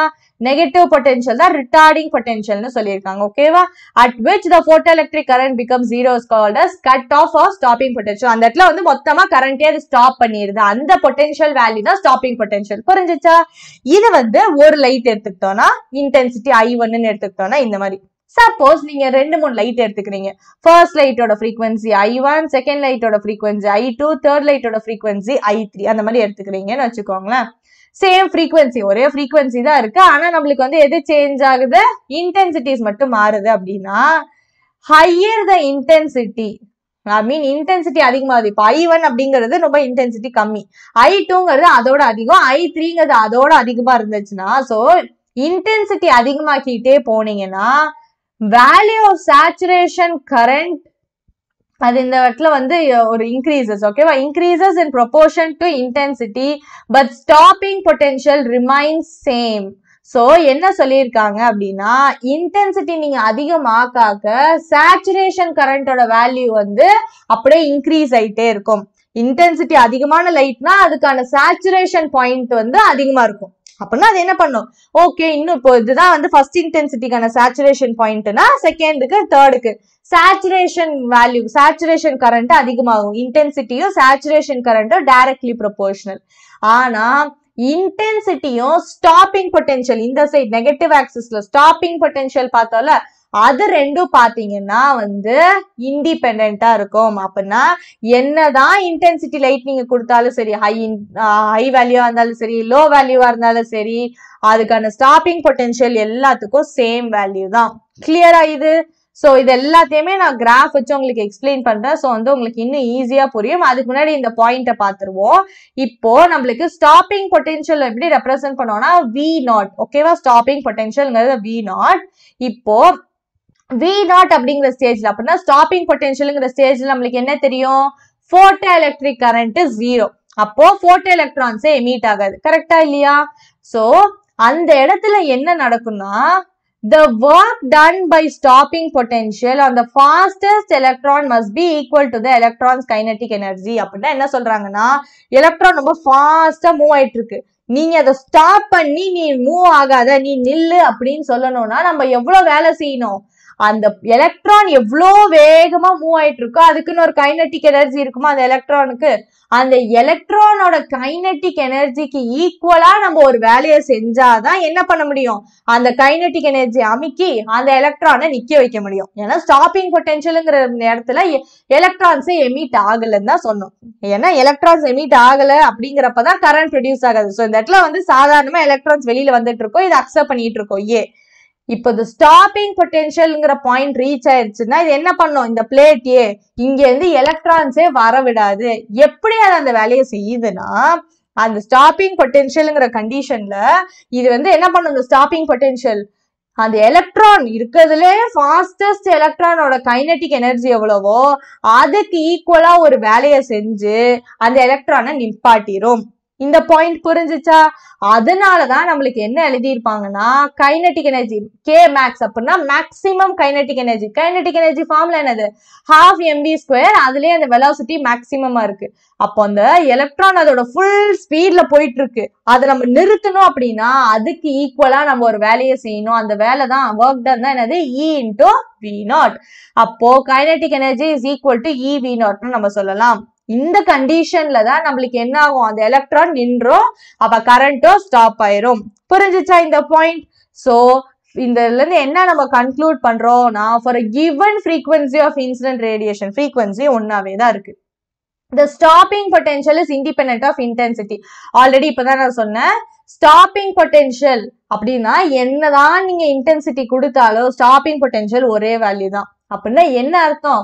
The maximum kinetic energy of the photoelectrons is independent of the intensity முக்கியமான பாயிண்ட் என்ன சொல்றாங்கன்னா இப்போ நம்ம எலக்ட்ரான்ஸ் வந்து வேக வேகமா மூவ் ஆயிட்டு இருக்கு. அதை நம்ம ஸ்டாப் பண்ணி அமுக்கி நீ மூவ் ஆகாதன்னு சொல்லணும். ஓகேவா அப்போ அந்த இடத்துல வந்து அந்த ஸ்டாப்பிங் பொட்டென்ஷியல் இருக்குல்ல stopping potential is independent of intensity light என்ன இன்டென்சிட்டியில ஃபர்ஸ்ட் கொடுத்தோங்கிறதுல தலையிடாது. எது இந்த ஸ்டாப்பிங் பொட்டென்ஷியல் அதுக்கான காரணம் என்னன்னா ஸ்டாப்பிங் பொட்டென்ஷியலும் கைனட்டிக் எனர்ஜிக்கு ரிலேஷன் இருக்கு. இப்பதான் நம்ம பார்த்தோம் kinetic energy is equal to e into V நாட்னு ரெண்டுக்கும் வந்து ரிலேஷன்ஷிப் இருக்கு. ஸோ கைனட்டிக் எனர்ஜி வந்து அதிகமாச்சுன்னா நம்ம அதுக்கேற்ற மாதிரி அதிக வேலை செய்யணும். அது ரெண்டும் டைரக்ட்லி ப்ரொபோர்ஷனலா இருக்குது ஸ்டாப்பிங் பொட்டென்ஷியலும் இன்டென்சிட்டியும் இண்டிபெண்ட்டு அதே மாதிரி கைனட்டிக் எனர்ஜி இன்டென்சிட்டி இண்டிபெண்ட் எப்படி சொல்றாங்கன்னா ஒரு எலக்ட்ரான் வேகமா போயிட்டு இருக்கு ஓகேவா kinetic energy of the photo electrons is in independent of the intensity இனிஷியலா நீங்க என்ன லைட் கொடுத்தீங்க? அது என்ன இன்டென்சிட்டியில வந்துச்சுங்கிறதுக்கும் இந்த எலக்ட்ரான் மூவ் ஆயிட்டு இருக்க கைனட்டிக் எனர்ஜிக்கும் எந்த விதமான சம்பந்தமும் கிடையாது. சோ நல்லா ஞாபகம் வச்சுக்கோங்க. இன்டென்சிட்டியும் ஸ்டாப்பிங் பொட்டென்ஷியலும் இண்டிபெண்ட் அதே மாதிரி இன்டென்சிட்டியும் கைனட்டிக் எனர்ஜியும் இண்டிபெண்ட் புரிஞ்சுச்சா இந்த பாயிண்ட் இப்ப கிராஃபிக்கல் மெத்தட்ல இதை நம்ம புரிஞ்சுக்கலாமா? சோ இங்க பாருங்க நான் ஆல்ரெடி சொன்ன மாதிரி தான் இந்த சைட் போச்சுன்னா இது பாசிட்டிவ் வேல்யூ பாசிட்டிவ் வேல்யூ நீங்க அதிகரிக்க அதிக என்ன ஆகும்? அதிகரிச்சுட்டே போகும்போது நம்மளுக்கு ஒரு பர்டிகுலர் பாயிண்ட்ல போய் ஸ்டாப் ஆயிரும். இந்த பாயிண்ட் தான் சேச்சுரேஷன் கரண்ட் ஃபர்ஸ்ட் இன்டென்சிட்டி கம்மியா இருக்கும் அடுத்த இன்டென்சிட்டிக்கு அதிகமாகும் அடுத்த இன்டென்சிட்டிக்கு அதிகமாகும். இன்டென்சிட்டி அதிகமாக ஆக சேச்சுரேஷன் கரண்ட் இன்க்ரீஸ் ஆகும். இன்டென்சிட்டியும் சேச்சுரேஷன் கரண்ட்டும் டைரக்ட்லி ப்ரொபோஷனல் வேணா எழுதி வச்சுக்கோங்க. இன்டென்சிட்டியும் சேச்சுரேஷன் கரண்ட்டும் டைரக்ட்லி ப்ரொபோஷனல் இதே பாசிட்டிவா நீங்க வந்து இன்க்ரீஸ் பண்ணீங்கன்னா இதே நெகட்டிவா போனீங்கன்னா அப்படியே குறைஞ்சிட்டே வரும் குறைஞ்சிட்டே வரும் குறைஞ்சிட்டே வரும். ஒரு பர்டிகுலர் பாயிண்ட்ல வந்து ஸ்டாப் ஆயிரும். மொத்தமா கரண்ட் ஸ்டாப் ஆயிரும். இந்த ஆக்சஸ்ங்கிறது என்ன axis negative retarding potential negative potential ஓகேவா சோ நெகட்டிவ் வேல்யூ நீங்க அப்படியே கொண்டு வர கொண்டு வர கரண்ட் கம்மியாயிட்டு கம்மியாயிட்டு ஒரு பர்டிகுலர் பாயிண்ட்ல கரண்டே மொத்தமா ஜீரோ ஆயிரும். அந்த பாயிண்ட் பேரு ஸ்டாப்பிங் பொட்டென்ஷியல் நீங்க என்னதான் இன்டென்சிட்டி லைட் எடுத்துக்கிட்டாலும் எல்லாத்துக்கும் ஒரே ஸ்டாப்பிங் பொட்டென்ஷியல் தான் இருக்கும். ஏன்னா எல்லாம் ஒரே பாயிண்ட்ல தான் மீட் ஆகுது பாருங்க ஓகேவா சோ இன்டென்சிட்டியும் ஸ்டாப்பிங் பொட்டென்ஷியலும் இண்டிபெண்ட் இன்டென்சிட்டியும் கைனட்டிக் எனர்ஜி இண்டிபெண்ட் இன்டென்சிட்டியும் சேச்சுரேஷன் கரண்ட் டைரக்ட்லி ப்ரொபோஷனல் புரிஞ்சுச்சா? இதுதான் வந்து இந்த இடத்துல நம்ம மொத்தமா டிஸ்கஸ் பண்ணிருக்கிறது கிளியரா இது? இது கொஞ்சம் வந்து உங்களுக்கு கன்ஃபியூஸ் ஆகுற மாதிரி இருக்கலாம். ஏன்னா இனிஷியலா இப்பதான் ஃபர்ஸ்ட் டைம் நீங்க வந்து இதை படிக்கிறீங்கன்னா கொஞ்சம் கன்ஃபியூஸ் ஆகுற மாதிரி இருக்கலாம். But no need to worry நீங்க ஒன்ஸ் ஆர் ட்வைஸ் நீங்க இதை வந்து ஜஸ்ட் படிச்சு பாத்தீங்க அப்படின்னா வந்து உங்களுக்கு ரொம்ப ஈஸியா புரிஞ்சிடும். ஓகேவா சரி. நெக்ஸ்ட் வந்து இப்போ ஃப்ரீக்வன்சி ஃபர்ஸ்ட் இன்டென்சிட்டியோட வேலையை பார்த்தோம். நெக்ஸ்ட் என்ன பார்த்தோம்? நம்மளுக்கு பொட்டென்ஷியல் பார்த்தா இப்போ மூணாவது என்ன பாக்குறோம்னா ஃப்ரீக்வன்சி சோ நம்ம வந்து ஃப்ரீக்வன்சி சேஞ்ச் பண்ணோம்னா அதுக்கு ஏத்த மாதிரி கரண்ட் இன்க்ரீஸ் ஆகுமா டிக்ரீஸ் ஆகுமான்னு பார்க்க போறோம். ஓகேவா சரி. We adjust the intensity of the incident radiation at each frequency so that the saturation current is same. Frequency 1 frequency 2 frequency 3 ன்னு எடுத்துக்கிறீங்க. ஓகேவா எல்லாத்துக்கும் ஒரே சேச்சுரேஷன் கரண்ட் வர மாதிரி செட் பண்றீங்க. இந்த இடத்துல பாருங்க.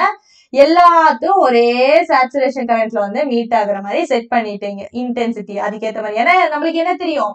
இன்டென்சிட்டியும் சேச்சுரேஷன் கரண்ட்டும் டைரக்ட்லி ப்ரொபோர்ஷனல் அப்ப எல்லாத்துக்கும் ஒரே மாதிரி இன்டென்சிட்டியை கொண்டு வந்தோம்னா என்ன ஆகும்? சேச்சுரேஷன் கரண்ட்டும் ஒரே மாதிரி மாறிடும் ஆனா ஃப்ரீக்வன்சி வேற. Nu one nu two nu three மூணு ஃப்ரீக்வன்சி இருக்கு. ஓகேவா இது பாசிட்டிவ் ஆக்சஸ்ல சேச்சுரேஷன் கரண்ட் பேசிட்டோம். இப்போ நெகட்டிவ் ஆக்சஸ்ல மூணு ஃப்ரீக்வன்சி நான் சொன்ன மாதிரி nu one nu two nu three nu த்ரீயோட வேல்யூ அதிகம். ஃப்ரீக்வன்சி நியூ டூ அதோட கம்மி. நியூ ஒன் இருக்கலே கம்மியானது. ஓகேவா இப்போ பொட்டென்ஷியலை வந்து நெகட்டிவ்ல வந்து குறைச்சிக்கிட்டே வரீங்க. அப்படின்னா அந்த potential on A is gradually decrease to zero and then increase in negative direction இதுவும் நிறைய பேருக்கு கன்ஃபியூஸ் ஆகும். ஃபர்ஸ்ட் டிக்ரீஸ் டு ஜீரோங்கிறாங்க அப்புறம் இன்க்ரீஸ் டு நெகட்டிவ் டைரக்ஷன்னா என்ன அர்த்தம்னா ஃபர்ஸ்ட் பொட்டென்ஷியலை பாசிட்டிவா நீங்க கொண்டு போறீங்க. எல்லாத்தோட இன்டென்சிட்டி ஒரே மாதிரி நீங்க வச்சிருக்கிறதுனால சேச்சுரேஷன் கரண்ட் ஒன்னா வந்துருச்சு. சரி பாசிட்டிவ் ஆக்சஸ் ஓவர் நெகட்டிவ் ஆக்சஸ்க்கு வருவோம். பொட்டென்ஷியலை அப்படியே குறைச்சிக்கிட்டே வரீங்க. ஜீரோக்கு வருது பொட்டென்ஷியல் அப்புறம் நெகட்டிவ் ஆக்சஸ்ல நெகட்டிவ் டைரக்ஷன்ல அதிகரிக்கிறீங்கன்னா என்ன அர்த்தம்? Minus one minus two minus three minus four negative ஆக்சஸ்ல அதிகரிச்சுக்கிட்டே போறதா இங்க சொல்லியிருக்கோம். ஸோ ஃபர்ஸ்ட் பாசிட்டிவ் போச்சு அங்கேயும் ஜீரோ வருது. ஜீரோல இருந்து நெகட்டிவ் நீங்க கொண்டு போக போக என்ன ஆகும்னா அப்படியே நம்மளுக்கு வந்து குறைஞ்சிக்கிட்டே வருது. அதான் பாருங்க.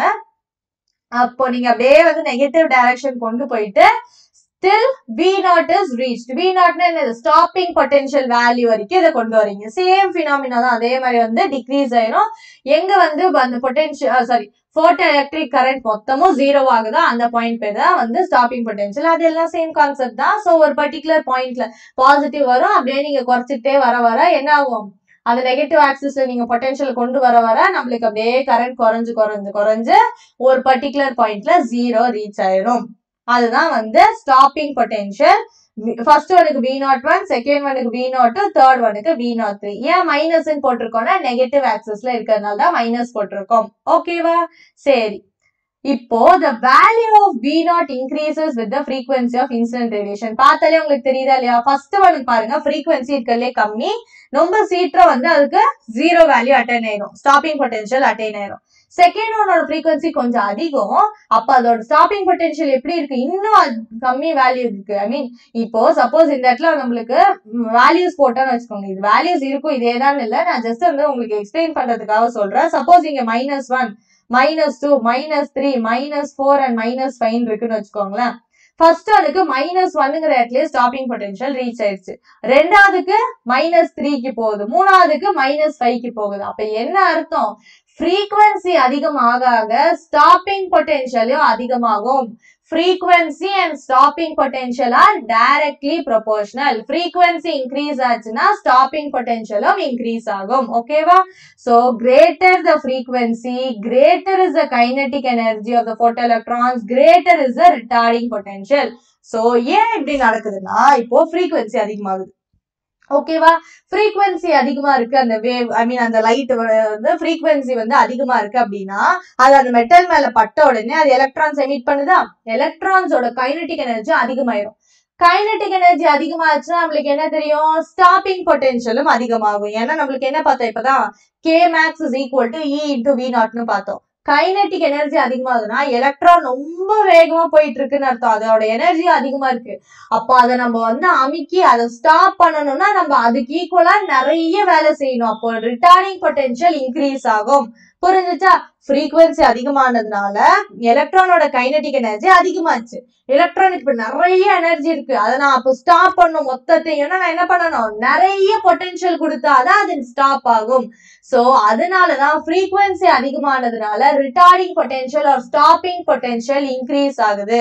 ஸோ ஃப்ரீக்வன்சியும் ஸ்டாப்பிங் பொட்டென்ஷியலும் டைரக்ட்லி ப்ரொபோர்ஷனல் இதுவும் கிளியரா ஸோ ஃப்ரீக்வன்சி அதிகமாகுது. நியூ த்ரீ அதிகம் நியூ டூ அதோட கம்மி நியூ ஒன் இருக்கிறதுலே கம்மினா அதே மாதிரி ஸ்டாப்பிங் பொட்டென்ஷியல் த்ரீக்கு அதிகம் டூக்கு கம்மி அண்ட் ஒன்னுக்கு அதோட கம்மியா இருக்கும்.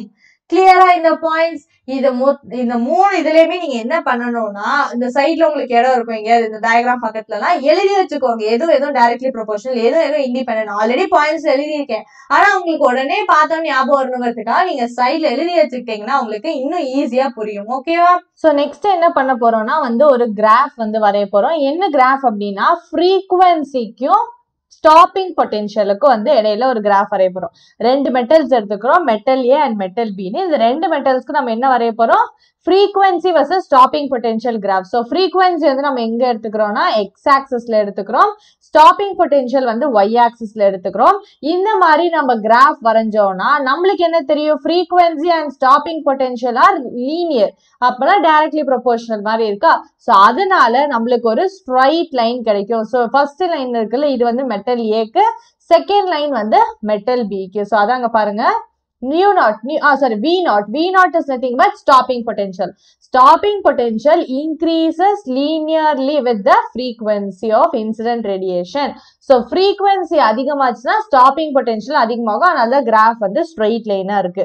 ரெண்டாவது என்ன சொல்றாங்க அப்படின்னா இப்போ ரெண்டு மெட்டல் எடுத்துக்கிறோம். Metal A and metal B ஓகேவா ரெண்டு மெட்டலுக்குமே வந்து ஸ்ட்ரெயிட் லைன் தான் வந்திருக்கு. ஆனால் ஒரே ஸ்ட்ரெயிட் லைன் இல்லை. மெட்டல் ஏக்கு ஃபர்ஸ்ட் இந்த இடத்துல வந்து நம்மளுக்கு ஒரு ஸ்ட்ரெயிட் லைன் வந்திருக்கு. அப்புறம் மெட்டல் பிக்கு வந்திருக்கு. ஸோ ரெண்டும் ஸ்ட்ரெயிட் லைன் தான். ரெண்டு லைன்ஸும் பேர்லலாக இருக்கும். ரெண்டு லைன்ஸ் பேரலாக இருந்துச்சுன்னா நம்மளுக்கு என்ன தெரியும்? ஸ்லோப் வந்து சேமாக இருக்கும். ஸோ ரெண்டு மெட்டல்ஸ் எடுத்துக்கிட்டு frequency and stopping potential graph வரைஞ்சோன்னா ரெண்டு பேரலல் ஸ்ட்ரெயிட் லைன்ஸ் வரும். ரெண்டு பேரலல் ஸ்ட்ரெயிட் லைன்ஸ் வரதுனால ஸ்லோப்போட வேல்யூ வந்து சேமாக இருக்கும். ஆனால் நம்மளுக்கு எது டிஃப்ரெண்ட்டாக இருக்கும்? த்ரெஷோல்டு ஃப்ரீக்வன்சி ஸோ இந்த கிராஃபை நம்ம வந்து இப்போ நல்லா ஜூம் பண்ணி பார்த்தோன்னா உங்களுக்கு இந்த ஒரு பாயிண்ட் தெரியும். இந்த இடத்துல பாருங்கள் இந்த பாயிண்ட் அண்ட் இந்த பாயிண்ட் இது பார்க்க வந்து உங்களுக்கு பி மாதிரி தெரியலாம் but it is nothing but nu தான். ஓகேவா ஸோ ஒன் மினிட் நம்ம இதை வந்து நோட் பண்ணிக்கலாம். ஓகேவா சரி. இப்போ இந்த பாயிண்ட் இருக்குல்ல இது நியூ நாட் இது வந்து நியூ நாட் டேஷ் நம்மளுக்கு என்ன தெரியும்? நியூனா ஃப்ரீக்குவென்சி கரெக்டாக ஃப்ரீக்குவென்சி நியூ நாட் அப்படின்னா த்ரெஷோல்டு ஃப்ரீக்வன்சி நம்ம சொன்னால ஒரு மினிமம் வேல்யூ ஆஃப் ஃப்ரீக்வன்சி இருக்கணும். அந்த மினிமம் வேல்யூக்கு கீழே எந்த விதமான போட்டோ எலக்ட்ரிக் எஃபெக்டும் நடக்காதுன்னு சொன்னோம்ல அந்த மினிமம் வேல்யூ தான் இந்த பாயிண்ட் ஓகேவா ஸோ இதுக்கப்புறமேட்டு தான் இந்த பாயிண்ட் வந்து இப்போ மெட்டல் ஏக்கு பார்த்தீங்கன்னா நியூ நாட் அதுக்கப்புறமேட்டு தான் நம்மளுக்கு என்ன ஆகும் ஃப்ரீக்வன்சி அதிகமாக அந்த மாதிரி வந்து ஃப்ரீக்வன்சிக்கும் ஸ்டாப்பிங் பொட்டன்ஷியலுக்கும் கிராஃப் வரையறப்போ ஒரு ஸ்ட்ரெயிட் லைன் வருது. ஸோ இந்த மினிமம் வேல்யூ இருக்குல்ல அதுக்கு மேலே தான் வந்து நம்மளுக்கு ஃபோட்டோ எலக்ட்ரிக் எஃபெக்ட் நடக்கும். ஸோ அந்த மினிமம் வேல்யூ வந்து நியூ நாட் ஸோ மெட்டல் ஏவோட ஃப்ரீக்வன்சி எப்படி இருக்கணும்? கிரேட்டர் தேன் நியூ நாட் அதே மாதிரி மெட்டல் பியோடது வந்து நியூ அப்படிங்கிற ஃப்ரீக்வன்சி எப்படி இருக்கணும்? Greater then nu naught dash ஏன் வந்து டிஃப்ரென்ஷியேட் பண்ணுறோன்னா ஒரு ஒரு ஒரு மெட்டலுக்கு வந்து த்ரெஷோல் ஃப்ரீக்வன்சி சேஞ்ச் ஆகும். அதுக்கு தான் புரிஞ்சுச்சா இந்த பாயிண்ட் இதுதான் நம்மளுக்கு இந்த இடத்துல சொல்லியிருக்காங்க. ஓகேவா சரி. நெக்ஸ்ட் பாயிண்ட் என்ன சொல்றாங்க அப்படின்னா one minute hmm. There exist a certain minimum cut off frequency for which the stopping potential is zero நான் சொன்ன மாதிரி இந்த இடத்துல வந்து ஸ்டாப்பிங் பொட்டென்ஷியலோட வேல்யூ என்னது? ஜீரோ கரெக்டா ஸோ ஒரு மினிமம் வேல்யூ ஆஃப் ஃப்ரீக்வன்சி இருக்கும். அந்த இடத்துல ஸ்டாப்பிங் பொட்டென்ஷியல் மொத்தமாக ஜீரோ ஓகேவா அதுக்கு மேலே நம்ம ஃப்ரீக்வன்சி அதிகரித்தோம் அப்படின்னா தான் நம்மளுக்கு என்ன ஆகும்? அந்த ஃபோட்டோ எலக்ட்ரிக் எஃபெக்டே நடக்கும். அதுக்கு கம்மியாக இருக்கு நம்மளுக்கு ஃப்ரீக்வன்சி அப்படின்னா அந்த இடத்துல நம்மளுக்கு என்ன இருக்காது? ஃபோட்டோ எலக்ட்ரிக் எஃபெக்டே நடக்காது.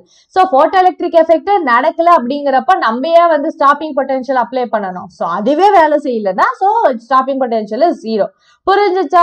சரி இப்போ நம்ம ஃபைனலைஸ்டா என்ன வந்து இம்ப்ளை பண்ணலாம்னா இந்த கிராஃப் வச்சு நம்ம என்ன வந்து இம்ப்ளை பண்றோம்னா kinetic energy of the photo electrons increases linearly with the frequency நான் என்ன சொன்னேன்? கைனட்டிக் எனர்ஜியும் ஃப்ரீக்வன்சியும் டைரக்ட்லி ப்ரொபோர்ஷனல் கைனட்டிக் எனர்ஜியும் இன்டென்சிட்டியும் இண்டிபெண்ட் அதுதான் ஃபர்ஸ்ட் பாயிண்ட் புரிஞ்சுச்சா? கைனட்டிக் எனர்ஜியும் ஃப்ரீக்வன்சியும் டைரக்ட்லி ப்ரொபோர்ஷனல் கைனட்டிக் எனர்ஜியும் இன்டென்சிட்டியும் இண்டிபெண்ட் புரிஞ்சுச்சா இது? செகண்ட் பாயிண்ட் என்ன சொல்றாங்க அப்படின்னா ஃபார் அ ஃப்ரீக்வன்சி நியூ ஒரு ஃப்ரீக்வன்சி நியூ எடுத்துக்கிறீங்க ஓகேவா for a frequency nu of incident radiation less than the threshold frequency nu naught. No photoelectric effect is possible. Howsoever large be the intensity of the incident radiation. என்ன சொல்றாங்கன்னா அந்த minimum value of frequency இருக்குல்ல இது பேரு threshold frequency new not ஓகேவா இந்த ஃப்ரீக்வன்சிக்கு கம்மியா நம்ம என்னதான் ஃப்ரீக்வன்சி எடுத்துக்கிட்டாலும் எவ்வளோ ஹை இன்டென்சிட்டியில நீங்க எடுத்துக்கிட்டாலும் த்ரெஷோல்டு ஃப்ரீக்வன்சியோட கம்மியாக வேல்யூ இருந்துச்சுன்னா ஃபோட்டோ எலக்ட்ரிக் எஃபெக்ட் நடக்காது த்ரெஷோல்டு ஃப்ரீக்வன்சிக்கு அதிகமாக இருக்க ஃப்ரீக்வன்சி நீங்கள் கொடுத்தால் மட்டுமே நம்மளுக்கு என்ன நடக்கும்? ஃபோட்டோ எலக்ட்ரிக் எஃபெக்ட் நடக்கும். இதுதான் இந்த கிராஃப்லேருந்து நம்ம இம்ப்ளை பண்ணுறோம் ஃபைனலி இவ்வளோ நேரம் நம்ம படித்ததை ஃபைவ் லாஸ் தான் நம்மளுக்கு சொல்லியிருப்பாங்க. சாரி ஃபோர் லாஸ் தான் சொல்லியிருப்பாங்க. ஓகேவா அந்த லாஸ் என்னன்னு வந்து பார்ப்போமா? இது வந்து டூ மார்க்ல கேட்கலாம். லா வந்து அப்படியே படிச்சுக்கோங்க முடிஞ்ச அளவுக்கு. ஓகேவா சரி. For given photo sensitive material ஒரு ஃபோட்டோ சென்சிட்டிவ் மெட்டீரியல் எடுத்துக்கிறீங்க. அண்ட் அண்ட் வந்து இதை நான் சொல்ல நினைச்சேன் லா எழுதும் போது நியூ அப்புறமேட்டு நான் வந்து ஃபோட்டோ எலக்ட்ரிக் எஃபெக்ட்டுக்கு பிஇ அந்த மாதிரி ஷார்ட் ஃபார்ம் யூஸ் பண்ணி எழுதியிருப்பேன். அது நோட்ஸுங்கனால பிரச்சனை இல்லை. ஆனால் நீங்கள் எக்ஸாமில் எழுதுறீங்கன்னா இந்த நியூ அப்படின்னா ஃப்ரீக்வன்சிங்கிறத வேர்டு எழுதுங்க. இப்போ பிஇ அப்படின்னா ஃபோட்டோ எலக்ட்ரிக்னா ஃபோட்டோ எலக்ட்ரிக்ங்கிற வேர்டு எழுதிருங்க. ஓகேவா சரி. ஒரு ஃபோட்டோ சென்சிட்டிவ் மெட்டீரியல் எடுத்துக்கிறீங்க. அது மேலே நியூ அப்படிங்கிற ஃப்ரீக்குவென்சி இருக்க லைட் வந்து படுது.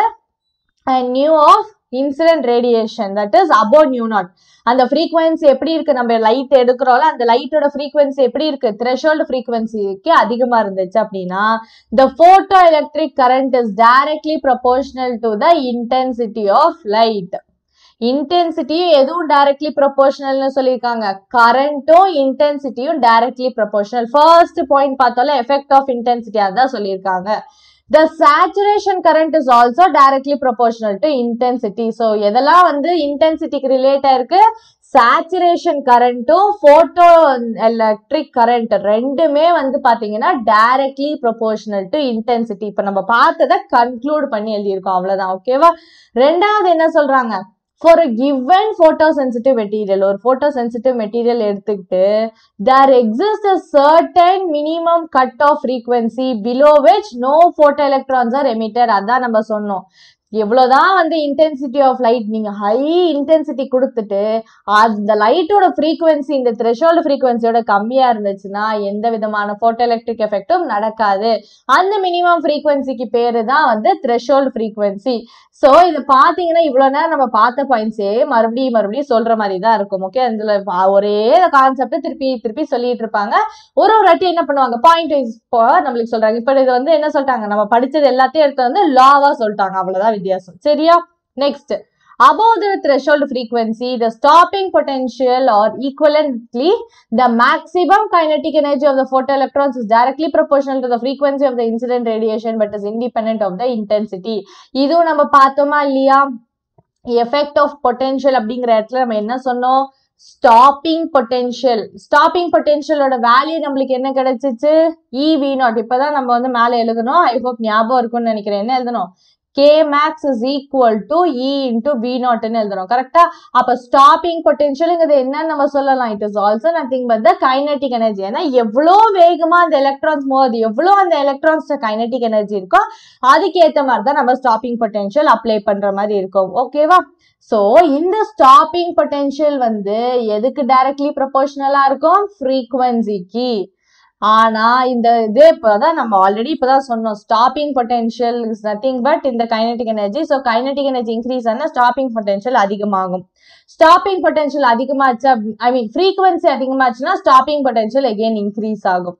ஸோ எதெல்லாம் வந்து டைரக்ட்லி ப்ரொபோர்ஷனல் சொல்லலாம்? Kinetic energy frequency stop frequency stopping potential kinetic energy stopping potential இந்த மூணுமே வந்து directly proportional to each other ஆனா இட் இஸ் இண்டிபெண்ட் ஆஃப் இது இன்டென்சிட்டி கைனட்டிக் எனர்ஜி எல்லாம் independent of intensity stopping potential is independent of intensity புரிஞ்சுச்சா இது? Next last point the photoelectric effect is an instantaneous process light அந்த metal மேல பட்ட உடனே நம்மளுக்கு எலக்ட்ரான் வெளியில வந்துடும் நோ நிறைய வந்து இப்போ எப்படி சொல் லைட் பட்டு ஒரு பத்து நிமிஷம் கழிச்சு தான் எலக்ட்ரான் வெளியில் வரும்ல அதில் இன்ஸ்டன்டேனியஸ் உடனே லைட் பட்டு அடுத்த செகண்ட் நம்மளுக்கு என்ன ஆயிரும்? வெளியில் எலக்ட்ரான்ஸ் வந்துடும் the time lag between the incidence of light radiation and emission of the photoelectrons is very small that is less than ten power minus nine second so அது நம்மளுக்கு வந்து நம்மளால உணரவே முடியாது. டென் பார் மைனஸ் நைன் செகண்ட்ஸுங்கிறது ரொம்ப கம்மி. ஸோ அந்த போட்டோ எலக்ட்ரிக் எஃபெக்ட்டுங்கிறது இன்ஸ்டன்டேனியஸ் ப்ராசஸ் ஜஸ்ட் அதனால லைட் பட்டு அடுத்த இதுவே வந்து நம்மளுக்கு என்ன ஆயிரும் எலக்ட்ரான்ஸ் எமிட் ஆயிரும். லைட் பட்டு எலக்ட்ரான் வெளியில வரதுக்கான டைம் கேப் எவ்வளோ இருக்கும்? Ten power minus nine second so அது ரொம்ப ஸ்மால் நெக்லிஜிபிள் அமௌண்ட்டாக தான் இருக்கும். இதுதான் போட்டோ எலக்ட்ரிக் எஃபெக்ட் புரிஞ்சுச்சா? ஸோ இதோட போட்டோ எலக்ட்ரிக் எஃபெக்ட் முடிஞ்சிச்சு இப்போ என்ன பண்ணுறோம்னா நெக்ஸ்ட் டாபிக்ல வேவ் தியரி நம்ம ஆல்ரெடி வந்து பார்த்துருப்போம். கரெக்டா அதையும் இந்த போட்டோ எலக்ட்ரிக் எஃபெக்ட்ஸையும் கம்பைன் பண்ணி வந்து ஒரு சில பாயிண்ட்ஸ் மாதிரி கொடுத்துருப்பாங்க. Failure of the classical wave theory அப்படின்னு. ஸோ வேவ் தியரியில் என்ன சொல்கிறாங்கன்னா அதுலேயும் சேம் இந்த இப்போ நம்ம ஆல்ரெடி டிஸ்கஸ் பண்ணாலும் இந்த லாவா அதே தான் இங்கேயும் மறுபடியும் ரிப்பீட் ஆகும். ஓகேவா according to wave theory when wave front strikes the metal ஒரு wave front waves wave theory நம்ம என்ன பார்த்துருப்போம்? வேவ் ஃப்ரண்ட்ஸ் பற்றி பார்த்துருப்போம். கரெக்டாக ஆல்ரெடி வேவ் ஆப்டிக்ஸ் நம்ம அப்லோட் பண்ணிட்டோம். நீங்கள் செக் பண்ணி பார்க்கலன்னா லிங்க் இந்த கமெண்ட் செக்ஷன் மறக்காம செக் பண்ணி பாருங்க வீடியோ முடிஞ்சோடனே சரி இப்போ என்ன சொல்றாங்கன்னா மெட்டல் மேல லைட் படுது. இப்போ இவ்வளவு நேரம் போட்டோ எலக்ட்ரிக் எஃபெக்ட்ல நம்ம லைட் படுது லைட் படுதுன்னு அவ்வளவு சொல்லிட்டோம். வேவ் தியரியில அது என்னவா சொல்லுவாங்க? வேவ் ஃப்ரண்ட்னு சொல்லுவாங்க. கரெக்டா இல்லையா? சோ வேவ் ஃப்ரண்ட் வந்து அந்த மெட்டல் மேல பட்டுச்சு அப்படின்னா மெட்டல்ல இருக்க ஃப்ரீ எலக்ட்ரான்ஸ்லாம் என்ன பண்ணும்? அந்த வந்து விழுந்த வேவ் ஃப்ரண்ட்ல இருக்க எனர்ஜியை அப்சர்வ் பண்ணிட்டு இதெல்லாம் வெளியில வர ட்ரை பண்ணும். கரெக்டா இல்லையா? சோ அதான் இந்த இடத்துல நம்மளுக்கு கொடுத்துருக்காங்க. According to wave theory when wave front strikes the metal free electrons at the surface surface மேலே இருக்க ஃப்ரீ எலக்ட்ரான்ஸ் மெட்டல் சர்ஃபேஸ் மேலே இருக்க ஃப்ரீ எலக்ட்ரான்ஸ் என்ன பண்ணும்? இருக்க எனர்ஜியை வந்து அப்சர்வ் பண்ணிகிட்டே இருக்கும். ஸோ வந்து விழுதுல இந்த வேவ் ஃப்ரண்ட் அதோட இன்டென்சிட்டி அதிகமாக இருந்துச்சு அப்படின்னா என்ன நம்ம சொல்லலாம்? Greater the amplitude of the electric and magnetic field and greater the energy density of the wave greater the kinetic energy according to wave theory என்ன சொல்றாங்கன்னா மெட்டல் மேல வேவ் பட்டுச்சு வேவ் ஃப்ரண்ட் பட்டுச்சுன்னா வேவ் ஃப்ரண்ட்ல இருக்க எனர்ஜி மெட்டலுக்கு போகும். அப்போ நம்ம என்ன ஆகும் மெட்டல்ல இருக்க எலக்ட்ரான் ஜாலியா வெளில வந்துடும் ஸோ என்ன சொல்றாங்கன்னா நம்ம வந்து அந்த மெட்டல் மேல விழுதுல வேவ் ஃப்ரெண்ட்ஸ் அதோட இன்டென்சிட்டி ஜாஸ்தியா இருந்தா அக்கார்டிங் டு வேவ் தேரி என்ன ஆகணும்னா எலக்ட்ரிக் அண்ட் மேக்னெட்டிக் ஃபீல்டோட ஆம்ப்ளிடியூட் இன்க்ரீஸ் ஆகணும். ஏன்னா light is and electromagnetic wave so intensity அதிகமாச்சுன்னா electric and magnetic ஃபீல்டோட ஆம்ப்ளிடியூட் வந்து அதிகமாகணும். எனர்ஜி டென்சிட்டி அந்த வேவோட மொத்த எனர்ஜி டென்சிட்டி அதிகமாகணும். அது அதிகமாச்சு அப்படின்னா அது வந்து விழுந்துடுச்சுன்னா அந்த எலக்ட்ரான் வெளியில வருதுல்ல அந்த எலக்ட்ரானோட கைனட்டிக் எனர்ஜி அதிகமாக இருக்கணும். இது எது? வேவ் தேரி சொல்லுது. ஆனா போட்டோ எலக்ட்ரிக் எஃபெக்ட்ல நம்ம என்ன சொன்னோம்? Kinetic energy is independent of இன்டென்சிட்டிங்கிறத prove பண்ணியாச்சு.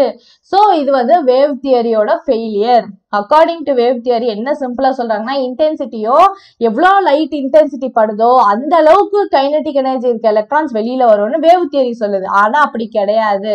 ஏன்னா இப்பதான் நம்ம என்ன சொன்னோம்? இன்டென்சிட்டியும் கைனட்டிக் எனர்ஜியும் இண்டிபெண்ட் ஸோ வந்து first thing failure of wave theory first point இது. ரெண்டாவது பாயிண்ட் என்ன சொல்றாங்கன்னா வேவ் தியரியில த்ரெஷோல்டு ஃப்ரீக்வன்சி பத்தி சொல்லவே மாட்டாங்க. வேவ் தியரியில என்ன சொல்லுவாங்கன்னா எனி ஃப்ரீக்வன்சி நீங்க எடுத்துக்கலாம். எனி ஃப்ரீக்வன்சி ஆஃப் வேவ் வந்து அந்த மெட்டல் மேலே பட்டுச்சுன்னா உடனே அது வந்து என்ன எமிட் பண்ணணும்? எலக்ட்ரானை எமிட் பண்ண வைக்கணும். அந்த ஃப்ரீக்வன்சிக்கு ஒரு மினிமம் வேல்யூ அதுக்கு கீழே இருந்தால் வந்து இந்த எமிஷன் நடக்காதுங்கிறது கிடையாது. எனி வேல்யூ ஆஃப் ஃப்ரீக்வன்சி நீங்கள் எடுத்துக்கிட்டாலுமே வந்து இந்த எமிஷன் நடக்கும் அப்படிங்கிறது வேவ் தியரிக்கு அக்கார்டிங் சொல்கிறாங்க ஆனா நம்மளுக்கு போட்டோ எலக்ட்ரிக் எஃபெக்ட்ல நம்மளுக்கு என்ன தெரியும்? இந்த ஒரு த்ரெஷோல்டு ஃப்ரீக்வன்சின்னு ஒரு மினிமம் வேல்யூ இருக்கு. ஏன்னா இதெல்லாம் எக்ஸ்பெரிமெண்டலா செஞ்சாச்சு. ஸோ இதெல்லாம் வந்து வேவ் தியரியோட ஃபெயிலியர்னு சொல்லிடுறோம். ஓகேவா wave theory fails to explain the existence of threshold frequency any value of frequency should be able to impart enough energy required to eject electrons from the metal so wave theory என்ன சொல்லுது நீங்க என்ன frequency வேணாலும் கொடுத்துக்கோங்க minimum வேல்யூலாம் எதுவும் இல்லைங்க நீங்க என்ன frequency கொடுத்தாலும் எலக்ட்ரான் வெளியில வரும்னு வேவ் தியரி சொல்லுது ஆனா அது ஃபால்ஸ் அப்படிங்கறத ப்ரூவ் பண்ணியாச்சு மூணாவது பாயிண்ட் வந்து என்னன்னா The energy of light wave is smoothly and evenly distributed to the advancing wavefront, but each electron requires a finite time to escape from the metal surface, but actually the emission is instantaneous. இப்போ என்ன சொல்றாங்கன்னா இப்பதான் நான் என்ன சொன்னேன் photoelectric எஃபெக்ட்டுங்கிறது instantaneous process light பட்ட உடனே வந்து நம்மளுக்கு எலக்ட்ரான் வெளியில ரிலீஸ் ஆயிரும் ஆனா அக்கார்டிங் டு வேவ் தியரி என்ன சொல்றாங்கன்னா லைட்டுங்கிறது வந்து வேவ் ஃப்ரெண்ட்ஸா இருக்குன்னா ஒரு வேவ் ஃப்ரண்ட்ல இருந்து அடுத்த வேவ் ஃப்ரண்ட்டுக்கு வந்து என்ன அந்த இப்போ எப்படி சொல்றது? அப்படியே வேவ் ஃப்ரெண்ட்ஸ் வேவ் ஃப்ரெண்ட்ஸா டிரான்ஸ்ஃபர் ஆகிட்டே போயிட்டு இருக்கு கரெக்டா ஸோ ஒரு அந்த வேவ் ஃப்ரெண்ட்ஸ் எல்லாம் ஒன்னொன்னு ஒன்று ஒன்னொன்னா டிரான்ஸ்ஃபர் ஆகி இந்த மெட்டல் மேல பட்டு அதுக்கு என்ன ஆகும்? ஒரு கொஞ்சம் டைம் எடுக்கும். அந்த எனர்ஜி எல்லாம் அந்த மெட்டலுக்கு போயிட்டு மெட்டல் அந்த எனர்ஜியை உள்வாங்கிட்டு எலக்ட்ரான்ஸ் வெளியில வர்றதுக்கு கொஞ்சம் டைம் எடுக்குங்கிறது வேவ் தியரியோட பாயிண்ட் ஆஃப் வியூ ஆனா அதுவும் கிடையாது. நம்ம என்ன சொல்லிட்டோம்? இன்ஸ்டன்டேனியஸா நடந்துருங்க. டைம்லாம் தேவையில்ல. லைட் பட்ட உடனே வெளியில வந்துருங்கிறத இதுல ப்ரூவ் பண்ணியாச்சு. ஸோ அதான் என்ன சொல்றாங்கன்னா energy of light wave is smoothly and evenly distributed to advancing wave front இது ஒரு வேவ் ஃப்ரண்ட் தான். இதுல இருந்து அடுத்த வேவ் ஃப்ரண்ட் வந்து கிளம்புமா? செகண்டரி வேவ்லெட்ஸ் இதெல்லாம் நம்ம டிஸ்கஸ் பண்ணியிருக்கோம். ஒரு வேவ் ஃப்ரண்ட்லேருந்து அடுத்த வேவ் ஃப்ரண்ட்டுக்கு போகணும்னா எனர்ஜி ஸ்மூத்தாக ஸ்டடியாக ஈவனாக டிரான்ஸ்ஃபர் ஆகிட்டே இருக்கும். ஸோ ஒரு வேவ் ஃப்ரண்ட் அடுத்த வேவ் ஃப்ரண்ட் இந்த மாதிரி டிரான்ஸ்ஃபர் ஆகி டிரான்ஸ்ஃபர் ஆகி மெட்டல் மேலே பட்டு அந்த எனர்ஜியில மெட்டலுக்கு போய் எலக்ட்ரான் வெளில வர்றதுக்கு டைம் எடுக்குங்கிறது வேவ் தியரி சொல்லுது. ஆனால் ஃபோட்டோ எலக்ட்ரிக் எஃபெக்ட்ல என்ன ப்ரூவ் பண்ணிட்டாங்கன்னா it is an instantaneous process so இது மூணு தான் என்னதுன்னா failures of the classical wave theory புரிஞ்சிச்சா? இதோட வந்து இந்த என்டையர் கான்செப்ட் வந்து மோஸ்டா முடிஞ்சிச்சு. இன்னும் ஒரே ஒரு டாபிக் என்னன்னா Einstein's theory of photoelectric effect Einstein என்ன பண்ணார்னா அவரோட பாஷையில வந்து போட்டோ எலக்ட்ரிக் எஃபெக்டை ப்ரூவ் பண்ணார். அதை தான் நெக்ஸ்ட் பார்க்க போறோம். ஓகேவா ஸோ ஃபர்ஸ்ட் வந்து பார்த்தீங்கன்னா நைன்டீன் ஃபைவ்ல ஐன்ஸ்டைன் வந்து என்ன பண்ணாருன்னா ஃபோட்டோ எலக்ட்ரிக் எஃபெக்டை எக்ஸ்பிளைன் பண்ணாரு. ஆனால் வந்து சாதாரண ஐ மீன் ஆல்ரெடி எப்படி எக்ஸ்பிளைன் பண்ணியிருக்காங்களா அந்த மாதிரி இல்லை. ஒரு நியூ மெத்தடில் வந்து எக்ஸ்பிளைன் பண்ணார் ஓகேவா ஸோ அவர் வந்து என்ன வந்து யூஸ் பண்ணாரு அப்படின்னா பே on the basis of Planck's quantum theory according to which a light travels in a form of discrete photons. So அவர் என்ன சொன்னார்னா லைட் அப்படிங்கிறது வந்து இப்போ லைட் ரே அப்படின்னு எடுத்துக்கிட்டோம்னா அதுல எக்கச்சக்கமான ஃபோட்டான்ஸ் இருக்கும். ஃபோட்டான்ஸ்லாம் சேர்ந்தது தான் லைட் ஸோ இந்த ஃபோட்டான்ஸ் காரணமாக எப்படி வந்து இந்த ஃபோட்டோ எலக்ட்ரிக் எஃபெக்ட் நடக்குதுங்கிறத ஐன்ஸ்டைன் எக்ஸ்பிளைன் பண்ணாரு. சாதாரணமாக லைட் பட்டுச்சு எலக்ட்ரான் வந்துச்சு நம்ம விட்டுட்டோம். இவர் என்ன பண்ணாருன்னா லைட்டுக்குள்ள அந்த ஒரு பார்ட்டிக்கல் இருக்கு. அந்த ஒரு பார்ட்டிக்கல் பேரு ஃபோட்டான் அந்த ஃபோட்டானும் மெட்டலும் வந்து இன்ட்ராக்ட் பண்றதுனால தான் ஃபோட்டோ எலக்ட்ரிக் எஃபெக்ட் நடக்குதுங்கிறத அந்த அளவுக்கு டீட்டெயிலாக எக்ஸ்பிளைன் பண்ணியிருக்காரு. சரி இப்போ அந்த ஃபோட்டான் அப்படின்னு சொல்றோம்ல அந்த ஃபோட்டானோட எனர்ஜி வந்து பார்த்தீங்கன்னா ஹெச் இன்டு நியூ ஹெச் அப்படிங்கிறது பிளாங்ஸ் கான்ஸ்டன்ட் நியூ அப்படிங்கிறது வந்து ஃப்ரீக்வன்சி ஓகேவா சரி ஐன்ஸ்டைன்ஸ் ஃபோட்டோ எலக்ட்ரிக் எஃபெக்ட்ல மேஜர் பாயிண்ட்ஸ் என்ன அப்படிங்கிறத பார்ப்போம்.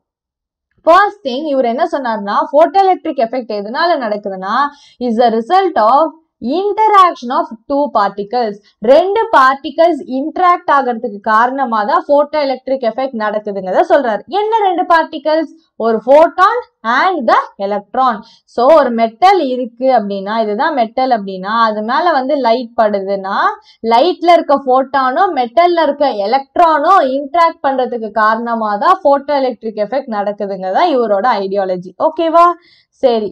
இப்போ free electrons are bound within the metal due to the restraining forces on the surface நம்மளுக்கு என்ன தெரியும்? மெட்டல் சர்ஃபேஸ்ல ஃப்ரீ எலக்ட்ரான்ஸ் இருக்கும். ஆனா அந்த ஃப்ரீ எலக்ட்ரான்ஸ்லாம் எப்படி இருக்கும்? அந்த மெட்டல்லே பிடிச்சி வச்ச மாதிரி இருக்கும். ஏன்? ஏன்னா அந்த எலக்ட்ரான் மெட்டலை விட்டு எஸ்கேப் பண்ண ட்ரை பண்ணுச்சுன்னா மெட்டலுக்கு பாசிட்டிவ் சார்ஜ் வந்து மறுபடியும் எலக்ட்ரானை வாங்கி வச்சுக்கும் ஸோ அதை ஓவர் கம் பண்ணணும் அப்படிங்கிறதுக்கு தான் அதுக்கு எனர்ஜி தேவை. அதுதான் ஒர்க் ஃபங்க்ஷன் அதெல்லாம் நம்ம ஆல்ரெடி ஃபர்ஸ்ட் போய் எக்ஸ்பிளைன் பண்ணிட்டோம். ஸோ அதே தான் இவரும் மறுபடியும் சொல்றாரு.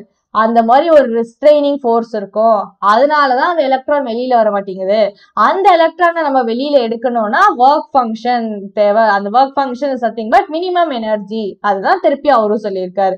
நெக்ஸ்ட் என்ன சொல்கிறாருன்னா ஒரு ஃபோட்டான் வந்து இப்போ லைட் வந்து இன்ட்ராக்ட் பண்ணதுனால லைட்ல வந்து எக்கச்சக்கமான ஃபோட்டான் இருக்கு. இப்போ ஒரு ஃபோட்டான் எடுத்துக்கிறோம். அப்போ அந்த ஒரு ஃபோட்டான் என்ன பண்ணோம்னா ஒரு எலக்ட்ரான் கூட இன்ட்ராக்ட் பண்ணும். கரெக்டா அந்த ஃபோட்டானோட எனர்ஜி எவ்வளோ?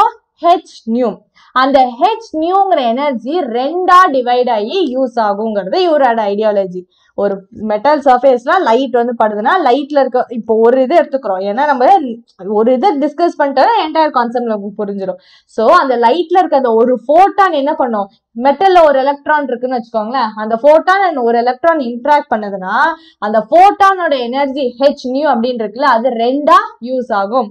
எப்படின்னா ஃபர்ஸ்ட் கொஞ்சம் எனர்ஜி வந்து ஒர்க் ஃபங்க்ஷனுக்கு அந்த ஒர்க் ஃபங்க்ஷனுங்கிறது என்னது? மினிமம் எனர்ஜி அப்பதான் அந்த எலக்ட்ரான் வெளியில வர முடியும். ஸோ கொஞ்சம் எனர்ஜி அந்த ஹெச் நியூ அப்படிங்கிறதுலேருந்து கொஞ்சம் எனர்ஜி எடுத்து ஒர்க் ஃபங்க்ஷனுக்கு யூஸ் ஆயிரும்.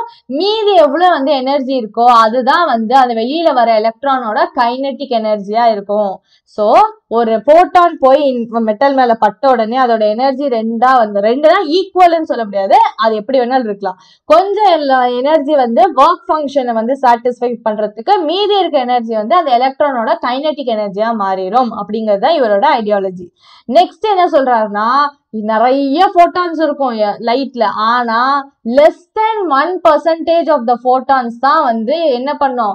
எலக்ட்ரான் வெளியில எடுக்கிறதுக்கு ஹெல்ப் பண்ணும். ஓகேவா அதோட வந்து எனர்ஜி மட்டும்தான் ஒர்க் ஃபங்க்ஷனோட அதிகமா இருக்கும். ஸோ அது மட்டும்தான் வந்து எலக்ட்ரான் வெளியில எடுக்கிறதுக்கு ஹெல்ப் பண்ண முடியும். எதுக்கு எல்லா ஃபோட்டான்ஸும் வந்து அந்த மாதிரி இருக்காதுங்கிறத இவர் சொல்றாரு. ஓகேவா so Einstein's photoelectric equation இவர் சொன்னாருங்க அந்த போட்டானோட எனர்ஜி ஹெச் நியூங்கிறது ரெண்டா டிவைட் ஆகுது. ஒன்று ஒர்க் ஃபங்க்ஷன் ஃபைவ் நாட் இன்னொன்று kinetic energy half m v square இந்த ஃபார்முலா புரிஞ்சுச்சா? அந்த ஃபோட்டான் வந்து விழுது. அந்த ஃபோட்டானோட ஹெச் நியூங்கிற எனர்ஜி வந்து எப்படி வந்து டிவைட் ஆகுது? Kinetic energy plus work function ஏன்னா அந்த மொத்த எனர்ஜியை தான் ரெண்டா டிவைட் பண்ணிருக்கோம். அப்போ அந்த ரெண்டு இண்டிவிஜுவல் இது ஆட் பண்ணீங்கன்னா மொத்தம் கிடைச்சிரும். மொத்த வேல்யூ என்னவோ அது கிடைச்சிரும். ஸோ அதனால தான் இப்படி எழுதியிருக்கோம். இப்போ இந்த ஃபைவ் நாட் அப்படிங்கிற வேல்யூ இந்த சைட்ல இருந்து இந்த சைடு எடுத்துட்டு வந்துடுங்க. அப்போ நெகட்டிவ் ஆயிரும். So h nu minus phi naught is equal to half m v ஸ்கொயர்னு கிடைக்கும். ஹாஃப் எம்பி ஸ்கொயருங்கிறது என்னது? மேக்ஸிமம் கைனட்டிக் எனர்ஜி ஸோ என்ன சொல்றாங்கன்னா இந்த kinetic energy of the electron வெளியில வருதுல எலக்ட்ரான் அந்த எலக்ட்ரானோட கைனட்டிக் எனர்ஜி எப்படி இருக்குமா? Equal to nu h nu minus phi naught அந்த ஃபோட்டானோட எனர்ஜி எவ்வளோ இருந்துச்சு? ஒர்க் ஃபங்க்ஷன் எவ்வளோ போச்சோ? மீதி இருக்கதான் கைனட்டிக் எனர்ஜி அதான் நான் சொன்னேன் அதே தான் ஃபார்முலா வச்சு சொல்லியிருக்காங்க. ஓகேவா சப்போஸ் இந்த ஃபார்முலாவில் வந்து இந்த இன்சிடென்ட் ஆகுதுல ஃபோட்டான் அதோட ஃப்ரீக்வன்சி வந்து நியூ நாட்டா இருக்கு. Nu naught is nothing but threshold ஃப்ரீக்வன்சியா இருந்துச்சுன்னா நம்மளுக்கு இந்த இடத்துல வந்து then the energy h nu naught is sufficient to free the electron from the metal and the kinetic energy is given by h nu kinetic energy is nothing but half m v square maximum அது that is equal to h nu minus இந்த work ஃபங்க்ஷனுக்கு பதிலாக என்னன்னு போடலாம். H nu நாட்னு போடலாம். So என்ன சொல்றாங்கன்னா இப்போ ஒரு எலக்ட்ரான் வந்து மெட்டலோட சர்ஃபேஸ் மேல சாரி ஒரு ஃபோட்டான் வந்து படுது ஓகேவா இந்த ஃபோட்டான் வந்து இப்போ வந்து இன்சிடென்ட் ஆகுதுல. அதோட ஃப்ரீக்குவென்சி வந்து நியூ நாட்டா இருந்துச்சு. அப்படின்னா அப்போ அது என்ன பண்ணும்? H nu minus work function இருக்குல்ல. அதை நம்ம எப்படி எழுதலாம்? அந்த ஒர்க் ஃபங்க்ஷன் ஃபைவ் நாட் அப்படிங்கறத நம்ம எப்படி எழுதலாம்? ஹெச் இன்டு நியூ நாட்னு எடுத்துக்கிறோம். ஓகேவா ஏன்னா then it's energy h nu naught அந்த ஒரு ஃபோட்டான் வருது சரியா? அந்த ஃபோட்டானோட ஃப்ரீக்வன்சி எவ்வளோ இருக்குன்னா நியூ நாட் நியூ நாட் அப்படிங்கிறது என்னது? த்ரெஷோட ஃப்ரீக்வன்சி இந்த வரைக்கும் புரிஞ்சிச்சா? சரி. அப்போ ஃப்ரீக்வன்சி நியூ நாட்னா அதோட எனர்ஜி எவ்வளோவா இருக்கும்? ஜென்ரல் ஃபார்ம்ல ஹெச் நியூ இப்போ ஃப்ரீக்வன்சிங்கிறது நியூ நாட் அப்போ அதோட எனர்ஜி ஹெச் நியூ நாட்டா இருக்கும். ஓகேவா அதோட வேல்யூ ஃப்ரீக்வன்சி வேல்யூவே மினிமமா இருக்குன்னா வர மொத்தத்தையும் யார் தான் எடுத்துக்குவா? ஒர்க் ஃபங்க்ஷனே எடுத்துக்கும் அதனால தான் வந்து work function is equal to h nu நாட்னு போடுறோம். அப்போ இந்த ஃபார்முலாவில் வந்து ஒர்க் ஃபங்க்ஷன் ஃபைவ் நாட் பல ஹெச் நியூ நாட்னு போடுறோம். ரெண்டுலேயும் காமனாக ஹெச் இருக்கனால வெளியில் எடுத்துட்டோம்னா நியூ மைனஸ் நியூ நாட் இது ரெண்டுமே தான் வந்து ஐன்ஸ்டைன்ஸ் ஃபோட்டோ எலக்ட்ரிக் ஈக்குவேஷன் புரிஞ்சிச்சா? இது ரெண்டும் ஜஸ்ட் நீங்கள் ஃபார்முலா தெரிஞ்சுக்கிட்டாலும் போதும். பட் ஸ்டில் டேரக்டா இதான் ஃபார்முலா தெரிஞ்சுக்கோங்க. அப்படின்னா ரொம்ப அப்டிராக்டா இருக்குங்கிறதுக்கு தான் நான் இந்த மாதிரி எழுதியிருக்கேன். ஓகேவா இந்த கான்செப்ட் புரிஞ்சிச்சா? சரி. இப்போ என்ன பண்ணுறோன்னா ஐன்ஸ்டைனோட இந்த எக்ஸ்பிளனேஷன் வச்சு எஃபெக்ட் ஆஃப் இன்டென்சிட்டி அந்த மாதிரி வந்து டிஃபரன்ஸ் அப்டிஷன்ஸ் பார்ப்போம். இது ரொம்ப சின்னது தான். ஓகேவா ஸோ எஃபெக்ட் ஆஃப் இன்டென்சிட்டி ஐன்ஸ்டைனோட இந்த போட்டோ எலக்ட்ரிக் ஈக்குவேஷன் ஒரு அந்த தியரியை வச்சு நம்ம என்ன சொல்லலாம்னா இன்டென்சிட்டி அதிகரிக்குதுன்னா என்ன அர்த்தம்? வர ஃபோட்டான்ஸ் வந்து இங்க அதிகமா வருது வர லைட்டோட இன்டென்சிட்டி அதிகமா இருக்குன்னா என்ன அர்த்தம்? வர லைட்ல வந்து நம்பர் ஆஃப் ஃபோட்டான்ஸ் வந்து அதிகமா இருக்கும். அப்போ ஃபோட்டான்ஸ் வந்து ஒரு ஃபோட்டான் வந்துச்சுன்னா ஒரு எலக்ட்ரான் வெளியில போகும். அப்ப நிறைய ஃபோட்டான் வந்தா நிறைய எலக்ட்ரான்ஸ் வெளியில போகும். அதனாலதான் என்ன சொல்றாங்க? இன்டென்சிட்டி அதிகரிச்சுச்சுன்னா வந்து போட்டோ எலக்ட்ரிக் கரண்ட்டும் அதிகரிக்கும்னு சொல்றாங்க. இதுதான் explanation of effect of intensity இது புரிஞ்சுச்சா? Second one explanation of nu naught nu நாட்னா threshold frequency so suppose நம்ம எடுக்கிறோம்ல லைட்டு அதோட ஃப்ரீக்வன்சி த்ரெஷோல் ஃப்ரீக்வன்சியோட கம்மியா இருக்குன்னு வச்சுக்கோங்களேன். சே ஃபார் எக்ஸாம்பிள் அப்ப நம்மளுக்கு கைனட்டிக் எனர்ஜியோட ஃபார்ம்ல என்ன தெரியும்? இப்பதான் நம்ம வந்து பார்த்தோம் K max is equal to kinetic energy maximum is equal to half m square that is equal to h into nu minus nu நாட்னு பார்த்தோம். இப்போ நம்ம எடுக்கிறோம்ல ஃப்ரீக்வன்சி அதோட value say for example four இனிஷியலா த்ரெஷோல்ட் ஃப்ரீக்வன்சி சிக்ஸ்னா h into four minus சிக்ஸோட value என்னது? Minus டூன்னு வரும். ஆனா கைனட்டிக் எனர்ஜி நெகட்டிவா இருக்கவே கூடாது. பாசிட்டிவா தான் இருக்கணும். அப்ப என்ன அர்த்தம்? இங்க இருக்குல்ல நியூ நம்ம எடுக்கிறோம் லைட்ல அந்த ஃப்ரீக்வன்சி எப்பயுமே அதிகமா இருக்கணும் when compare to the threshold frequency.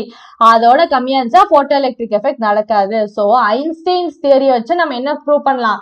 Threshold ஃப்ரீக்குவென்சின்னு ஒன்று எக்ஸிஸ்ட் ஆகும் அப்படிங்கிறத ப்ரூவ் பண்ணலாம்.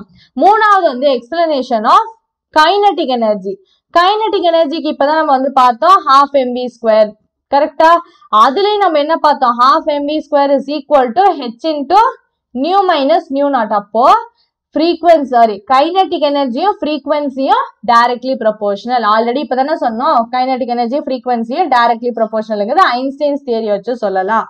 ஸோ இன்டென்சிட்டியும் கைனட்டிக் எனர்ஜியும் என்னது? இண்டிபெண்ட் ஞாபகம் இருக்கா? Kinetic energy and intensity are independent அதை எப்படி சொல்லலாம்னா இன்டென்சிட்டி அதிகமாக அதிகரிக்குதுன்னா என்ன அர்த்தம்? வர ஃபோட்டான்ஸ் தான் அதிகரிக்கும். ஸோ வர போட்டான்ஸ் அதிகரிக்குதுன்னா வெளியில வர எலக்ட்ரான்ஸ் அதிகரிக்கும். நம்மளுக்கு டோட்டலா வந்து கரண்ட் வந்து அதிகரிக்கும். அதுதான் ஃபர்ஸ்ட் பாயிண்ட்ல பார்த்தோம். ஆனா ஃபோட்டான்ஸ் நிறைய வருதுங்கிறதுக்காக வெளியில வர எலக்ட்ரான்ஸோட கைனட்டிக் எனர்ஜி அதிகமாகுங்கிறத சொல்ல முடியாது. அதனாலதான் இன்டென்சிட்டியும் கைனட்டிக் எனர்ஜியும் இண்டிபெண்டா இருக்கும். சேம் பாயிண்ட் தான் யூர் ஸ்டைலில் சொல்லியிருக்கோம். ஓகேவா நெக்ஸ்ட் வந்து பாத்தீங்கன்னா டைம் லேக் போட்டோ எலக்ட்ரிக் எஃபெக்ட்ங்கிறது என்னன்னா இப்போ அக்கார்டிங் டு ஐன்ஸ்டைன்ஸ் theory என்ன சொல்றாங்கன்னா ஒரு போட்டானும் எலக்ட்ரானுக்கும் நடக்கிற எலாஸ்டிக் கொல்யூஷன் காரணமாக தான் போட்டோ எலக்ட்ரிக் எஃபெக்ட் வந்து நடக்குது. ஒரு போட்டான் வந்து இந்த எலக்ட்ரான் மேல பட்டுச்சுன்னா போட்டான்ல இருக்க மொத்த எனர்ஜியும் எலக்ட்ரானுக்கு போயிடும் பொறுமையா கொஞ்சம் கொஞ்சம் கொஞ்சமா போயிட்டே இருந்துச்சுன்னா நிறைய டைம் எடுக்கும். அப்போ டைம் லாக் எடு ஆகும். ஆனா வந்து என்ன சொல்லியிருக்கோம்? போட்டோ எலக்ட்ரிக் எஃபெக்ட்டுங்க இன்ஸ்டன்டேனியஸ் உடனே நடந்துரும். ஸோ வந்து ஒரு ஃபோட்டான் ஹிட் ஆச்சுன்னா அதில் இருக்க எல்லா எனர்ஜியும் எலக்ட்ரானுக்கு போயிடும் உடனே நம்மளுக்கு என்ன வேணும் ஃபோட்டோ எலக்ட்ரிக் எஃபெக்ட் நம்மளால பார்க்க முடியும். இருக்க எலக்ட்ரான்ஸ் தான் வெளியில வந்துடும் ஸோ அதனால எந்த விதமான டைம் லேகும் இல்லை அப்படிங்கறத ஐன்ஸ்டைன் தேரி வச்சு ப்ரூவ் பண்ணியாச்சு. புரிஞ்சிச்சா? இவ்வளோதான் மேஜரா லாஸ்டா இதுல வந்து பாத்தீங்கன்னா ஃபோட்டான் ஃபோட்டான் ஃபோட்டான் இவ்வளவு நேரம் பேசிட்டு இருக்கோம்ல பாவம் அந்த ஃபோட்டான் பத்தி கொஞ்சம் பார்த்துட்டு போயிடுவோமே. அதோட ப்ராப்பர்ட்டிஸ் என்ன? இது ரொம்ப சிம்பிளா தான் இருக்கும் ஓகேவா ஃபோட்டான் அப்படிங்கறது என்ன சொன்னேன்? லைட்டுன்னு எடுத்துக்கிட்டீங்கன்னா அதுல நிறைய சின்ன சின்ன சின்ன சின்ன பேக்கெட்ஸ் ஆஃப் எனர்ஜியை தான் குவாண்டா ஆர் ஃபோட்டான்னு சொல்லுவோம். ஸோ லைட்ல எக்கச்சக்கமான பார்ட்டிகல்ஸ் இருக்கும். அந்த ஒரு ஒரு பார்ட்டிகளுக்கும் ஒரு ஒரு பர்டிகுலர் எனர்ஜி இருக்கும். அதுதான் நம்ம என்னன்னு சொல்றோம்? ஃபோட்டான்ஸ்னு சொல்றோம் ஓகேவா இந்த லைட் ஆர் எலக்ட்ரோமேக்னெட்டிக் வேவ் ஜென்ரலா எடுத்துக்கிட்டீங்கன்னா அதுக்கு வேவ் நம்ம எலக்ட்ரோமேக்னெட்டிக் வேவ் வேவ்னு படிச்சிருக்கோம். ஆனா எலக்ட்ரோமேக்னெட்டிக் வேவு நீங்க எடுத்துக்கிட்டா அதுக்குமே வந்து பார்ட்டிக்கல் நேச்சர் இருக்கு அப்படிங்கிறத காம்டான் அப்படிங்கிற சயின்டிஸ்ட் தான் ப்ரூவ் பண்ணாரு. அவரோட காம்டான் எஃபெக்ட் வச்சு ஸோ நம்மளுக்கு என்ன தெரியும்? எலக்ட்ரோமேக்னெட்டிக் வேவ்னா இட் இஸ் அ வேவ்னு தெரியும். ஸோ அது வேவா இருக்கு அப்படின்னா வேவ் நேச்சர் எல்லாம் இருக்குன்னு நம்மளுக்கு தெரியும். ஆனா ஐன்ஸ்டைன் காம்டான் இந்த மாதிரி சயின்டிஸ்ட் தான் என்ன சொன்னாங்கன்னா எப்படி வந்து நம்மளுக்கு இந்த மாதிரி லைட்டுன்னு எடுத்துக்கிட்டிங்கன்னா not only wave nature particle wave நேச்சரும் இருக்கும் அப்படிங்கிறத தான் சொல்லியிருக்காங்க. ஸோ காம்டான் நைன்டீன் டுவெண்ட்டி ஃபோரில் வந்து X-ray scattering scattering of X-rays by electron எக்ஸ்பிரிமெண்ட்டை பண்ணாரு. ஸோ அதை வச்சு தான் வந்து இவர் இதை ஜஸ்டிஃபை பண்ணாரு. பார்ட்டிக்கல் நேச்சர் இருக்குன்னு காம்டான் எஃபெக்ட்னா வந்து ஜஸ்ட் நீங்க இதை படிச்சுக்கோங்க இதெல்லாம் கேட்கலாம் மாட்டாங்க. ஜஸ்ட் காம்டான் எஃபெக்ட்னு அந்த புக்ல பேர் கொடுத்துருக்கனால நான் கொடுத்துருக்கேன். Phenomena of increase in wave length of X-ray photon scattered by electrons okay just தெரிஞ்சுக்கிட்டா போதும். முக்கியமான three mark or two mark வந்து ஃபீச்சர்ஸ் ஆஃப் ஃபோட்டான் ஃபோட்டான் அப்படிங்கிறது என்ன? இந்த interaction of radiation with matter radiations are electromagnetic waves வந்து matter I mean ஏதோ ஒரு சப்ஸ்டன்ஸ் கூட வந்து ரியாக்ட் பண்ணுச்சு அப்படின்னா அந்த ரேடியேஷன் வந்து எப்படி பிஹேவ் பண்ணும்? அது வந்து அது ஏதோ வந்து அதுக்குள்ள நிறைய பார்ட்டிகல்ஸ் இருக்க மாதிரி பிஹேவ் பண்ணும். அந்த பார்ட்டிகல்ஸோட பேரு தான் photon ஃபோட்டானோட energy H nu momentum is nothing but H nu by C அப்போ அந்த H into nu by C அப்படிங்கிறது என்னன்னு எழுதலாம்? பை லேம்டான்னு எழுதலாம். ஸோ மொமெண்டமோட ஃபார்ம்ல ஹெச் பை லேம்டா எதுக்கு? ஃபோட்டானுக்கு அண்ட் நெக்ஸ்ட் வந்து பாத்தீங்கன்னா எல்லா ஃபோட்டான்ஸ்க்கும் ஒரு பர்டிகுலர் ஃப்ரீக்வன்சி நியூ தான் இருக்கும். அண்ட் வந்து ஒரே எனர்ஜி ஒரே மொமெண்டம் தான் இருக்கும். இன்டென்சிட்டிக்கு வந்து ஏத்தாப்புல வந்து லைட்டோட இன்டென்சிட்டி அதிகமா இருந்தா ஃபோட்டானோட எனர்ஜி அதிகமா இருக்கும்லாம் கிடையாது. இன்டென்சிட்டி அதிகமா இருக்குன்னா நிறைய ஃபோட்டான்ஸ் அவ்வளோதான் நம்பர் தான் ஒழிய குவான்டிடேட்டிவ் தான் ஒழிய குவாலிட்டேட்டிவ் கிடையாது. ஸோ என்னதான் நீங்க இன்டென்சிட்டி எடுத்துக்கிட்டாலும் வந்து ஃபோட்டானோட எனர்ஜி மொமெண்டம் ஃப்ரீக்வன்சிலாம் சேமா தான் இருக்கும். அண்ட் ஃபோட்டான்ஸ் வந்து எலக்ட்ரிக்கலி நியூட்ரல் அதுக்கு சார்ஜ் கிடையாது. எலக்ட்ரிக் அண்ட் மேக்னெட்டிக் ஃபீல்ட்னால டிஃப்ளெக்ட் ஆகாது. அண்ட் ஃபோட்டானும் எலக்ட்ரானும் கொலைட் ஆகுது அப்படின்னா மொத்தமா அந்த அந்த டோட்டல் சிஸ்டம்ல டோட்டல் எனர்ஜி அந்த மொமெண்டம் இஸ் கன்சர்ன் மொத்தமா இருக்க எனர்ஜியும் மொமெண்டமும் வந்து சேம் வேல்யூ தான் இருக்கும். ஆனா என்ன ஆகலாம்னா போட்டான்ஸ் அப்சார்ப் ஆகலாம் போட்டான்ஸ் ரிலீஸ் ஆகலாம். ஆனா ஓவராலா நம்ம கன்சிடர் பண்ணும்போது எனர்ஜி அண்ட் மொமெண்டம் எப்பயுமே கன்சர்வ்டா இருக்கும். லாஸ்ட் பாயிண்ட் புக்ல இது கிடையாது. ஆல்ரெடி நம்ம பார்த்தது அதே தான் திருப்பி சொல்றாங்க பாருங்க. இஃப் இன்டென்சிட்டி இன்க்ரீசஸ் லைட்டோட இன்டென்சிட்டி இன்க்ரீஸ் ஆச்சுன்னா நான் சொன்ன மாதிரி நம்பர் ஆஃப் ஃபோட்டான்ஸ் இன்க்ரீஸ் ஆகுமே ஒழிய அதோட எனர்ஜி மாறாது. ஓகேவா இதுதான் features of photons. Next topic determination of Planck Planck's constant and work function. இது புக்ல வந்து நம்மளுக்கு அப்படியே வந்து இந்த ஐன்ஸ்டைன்ஸ் தியரியிலே வந்து கண்டினியூஸா கொடுத்துருப்பாங்க. நான் அதை வந்து செப்பரேட் ஹெட்டிங்கா போட்டு எழுதியிருக்கேன். ஸோ தட் வந்து உங்களுக்கு படிக்கிறதுக்கு ஈஸியா இருக்கும்? அதுக்காக தான் ஓகேவா ஸோ இதுக்கான டயக்ராம் இந்த மாதிரி கொடுத்துருப்பாங்க. கரெக்டா ரெண்டு கொடுத்துருக்க மாட்டாங்க. ஒன்னே ஒன்று தான் கொடுத்துருப்பாங்க. நான் வந்து புக்ல இருந்து அதே டயக்ராம் போட்டேன். ஸோ தட் நான் வந்து உங்களுக்கு எக்ஸ்பிளைன் பண்றப்ப போட்டுக்கலான்னு நான் இப்போ எக்ஸ்பிளைன் பண்ண பண்ண நீங்களும் அது வரைஞ்சிக்கிட்டே வாங்க ஓகே அது ரொம்ப சின்ன டாபிக் தான். அண்ட் அதுக்கப்புறமேட்டு இன்னும் கொஞ்சோண்டு தான் கண்டென்ட் இருக்கு. ஸோ வந்து ஐ ஹோப் இது வரைக்கும் வந்து உங்களுக்கு இன்ட்ரெஸ்டிங்காக போயிட்டு இருக்கும் அப்படின்னு நினைக்கிறேன். சரி பிளாங்க்ஸ் கான்ஸ்டன்ட் பிளாங்க்ஸ் கான்ஸ்டன்ட்னா ஹெச் அண்ட் ஒர்க் ஃபங்க்ஷனை டிட்டர்மைன் பண்ண போகிறோம் ஓகேவா ஃபர்ஸ்ட் நம்மளுக்கு என்ன தெரியும்? கைனட்டிக் எனர்ஜியோட ஃபார்முலாஸ் தெரியும். என்னது? ஹெச் நியூ மைனஸ் ஃபைவ் நாட்னு இப்போ பார்த்தோமா? அண்ட் இனிஷியலாக என்ன பார்த்தோம்? இ வி நாட்னு பார்த்தோமா? இது ரெண்டுமே கைனட்டிக் எனர்ஜியோட ஃபார்முலா அப்போ ரெண்டையுமே ஈக்குவேட் பண்ணுறோம் ஹெச் நியூ மைனஸ் ஃபைவ் நாட்டும் இ வி நாட்டும் ஈக்குவல் பண்ணுறோம் அப்போ அந்த வி நாட் ஸ்டாப்பிங் பொட்டன்ஷியல் இங்கே வச்சுக்கிறேன் இந்த e இ அப்படிங்கிறத இந்த சைட் கொண்டு வந்துடுறேன். ஸோ நம்மளுக்கு எப்படி இருக்குன்னா E V naught is equal to H nu minus phi நாட்னு இருக்கா? E இ அப்படிங்கிறது இந்த சைட் கொண்டு வந்துட்டோன்னா எப்படி இருக்கும்? H nu minus phi naught divided by ஈன்னு இருக்கும். இந்த டிவிஷன் வந்து ரெண்டுக்குமே காமன் அப்போ நான் இது எப்படி எழுதலாம்? H nu by E minus phi naught by ஈன்னு எழுதலாம். அதான் இந்த இடத்துல எழுதியிருக்கேன். H nu by E minus phi naught by ஈன்னு அதை நான் என்ன பண்ணுறேன் பிராக்கெட் மட்டும் மாற்றி எழுதிக்கிறேன் அவ்வளோதான் ஹெச் பை இ e உள்ள வச்சுட்டு நியூ வெளியில் எழுதிக்கிறேன். மல்டிப்ளிகேஷன் எப்படி வேணாலும் எழுதுனா minus phi naught by E அப்படின்னு எழுதிக்கிறேன். ஓகேவா இது எதுக்கு? ஸ்டாப்பிங் பொட்டென்ஷியலுக்கு இப்போ நம்மளுக்கு straight line equation Y is equal to MX plus C தெரியுமா? ரெண்டையும் கம்பேர் பண்ணுங்க. ஒய்ங்கிற இடத்துல ஸ்டாப்பிங் பொட்டென்ஷியல் அதனால தான் ஒய் ஆக்சஸ்ல ஸ்டாப்பிங் பொட்டென்ஷியல் நெக்ஸ்ட் எம்ங்கிற இடத்துல ஹெச் பை இ அப்போ இந்த இதுக்கு வந்து நீங்க ஸ்லோப் கண்டுபிடிச்சீங்கன்னா நான் ஃபர்ஸ்டே சொல்லியிருப்பேன் ஸ்லோப் ஸ்லோப் பண்ணு. ஸோ இதுக்கு ஸ்லோப் நீங்க கண்டுபிடிச்சீங்க அப்படின்னா வந்து அது எப்படி இருக்கும்? ஹெச் பை இ அப்படிங்கிற ஃபார்மேட்ல இருக்கும். அண்ட் நெக்ஸ்ட் எக்ஸுங்கிற இடத்துல என்ன இருக்கு? ஃப்ரீக்வன்சி ஸோ அதனால தான் எக்ஸ் ஆக்சிஸ்ல ஃப்ரீக்வன்சி நெக்ஸ்ட் பிளஸ் சின்னு இருக்கு. பிளஸ் சிக்கு பதிலாக இங்க என்ன இருக்கு? மைனஸ் ஃபைவ் நாட் பை இன்னு இருக்கு. ஸோ இதுதான் வந்து minus phi naught by E இந்த கிராஃப் வந்து ஸ்ட்ரெயிட்லீனாக இருக்கும். கரெக்டாக அதை நீங்கள் அப்படியே பின்னாடி எக்ஸ்டெண்ட் பண்ணீங்கன்னா அது எந்த பாயிண்ட்ல வந்து மீட் ஆகுதோ அதுதான் இன்டர்செப்ட் இதுதான் இன்டர்செப்டோட வேல்யூ இன்டர்செப்ட் இது. ஓகேவா so intercept is nothing but minus phi naught by E இப்போ புரிஞ்சுச்சா? X axis Y axis and slope இந்த மொத்த இதுக்கும் நீங்கள் இப்போ ஸ்லோப் கண்டுபிடிச்சிங்கன்னா இந்த லைனுக்கு அந்த ஸ்லோப்போட வேல்யூ இப்போ இதுதான் டீட்டான்னு எடுத்துக்கிறீங்கன்னு வச்சுக்கோங்களேன். இந்த மாதிரி நீங்கள் வரைஞ்சிக்கிறீங்க ஒரு ட்ரையாங்கிள் ஸோ இந்த ஆங்கிள் நீங்க டீட்டான்னு எடுத்துக்கிறீங்க. So slope is nothing but என்னது? அதான் நெக்ஸ்ட் இங்க பண்ணியிருப்போம் பாருங்க. தியரிட்டிக்கலா ஈக்குவேஷன் வச்சு கிராஃப் வரைஞ்சிட்டோம். இப்போ அந்த கிராஃப் வச்சு நம்ம என்ன பண்ணலாம்னா பிளாங்க்ஸ் கான்ஸ்டன்ட்டை கண்டுபிடிக்கலாம். எப்படிங்கிறத பார்ப்போம். ஒன் மினிட்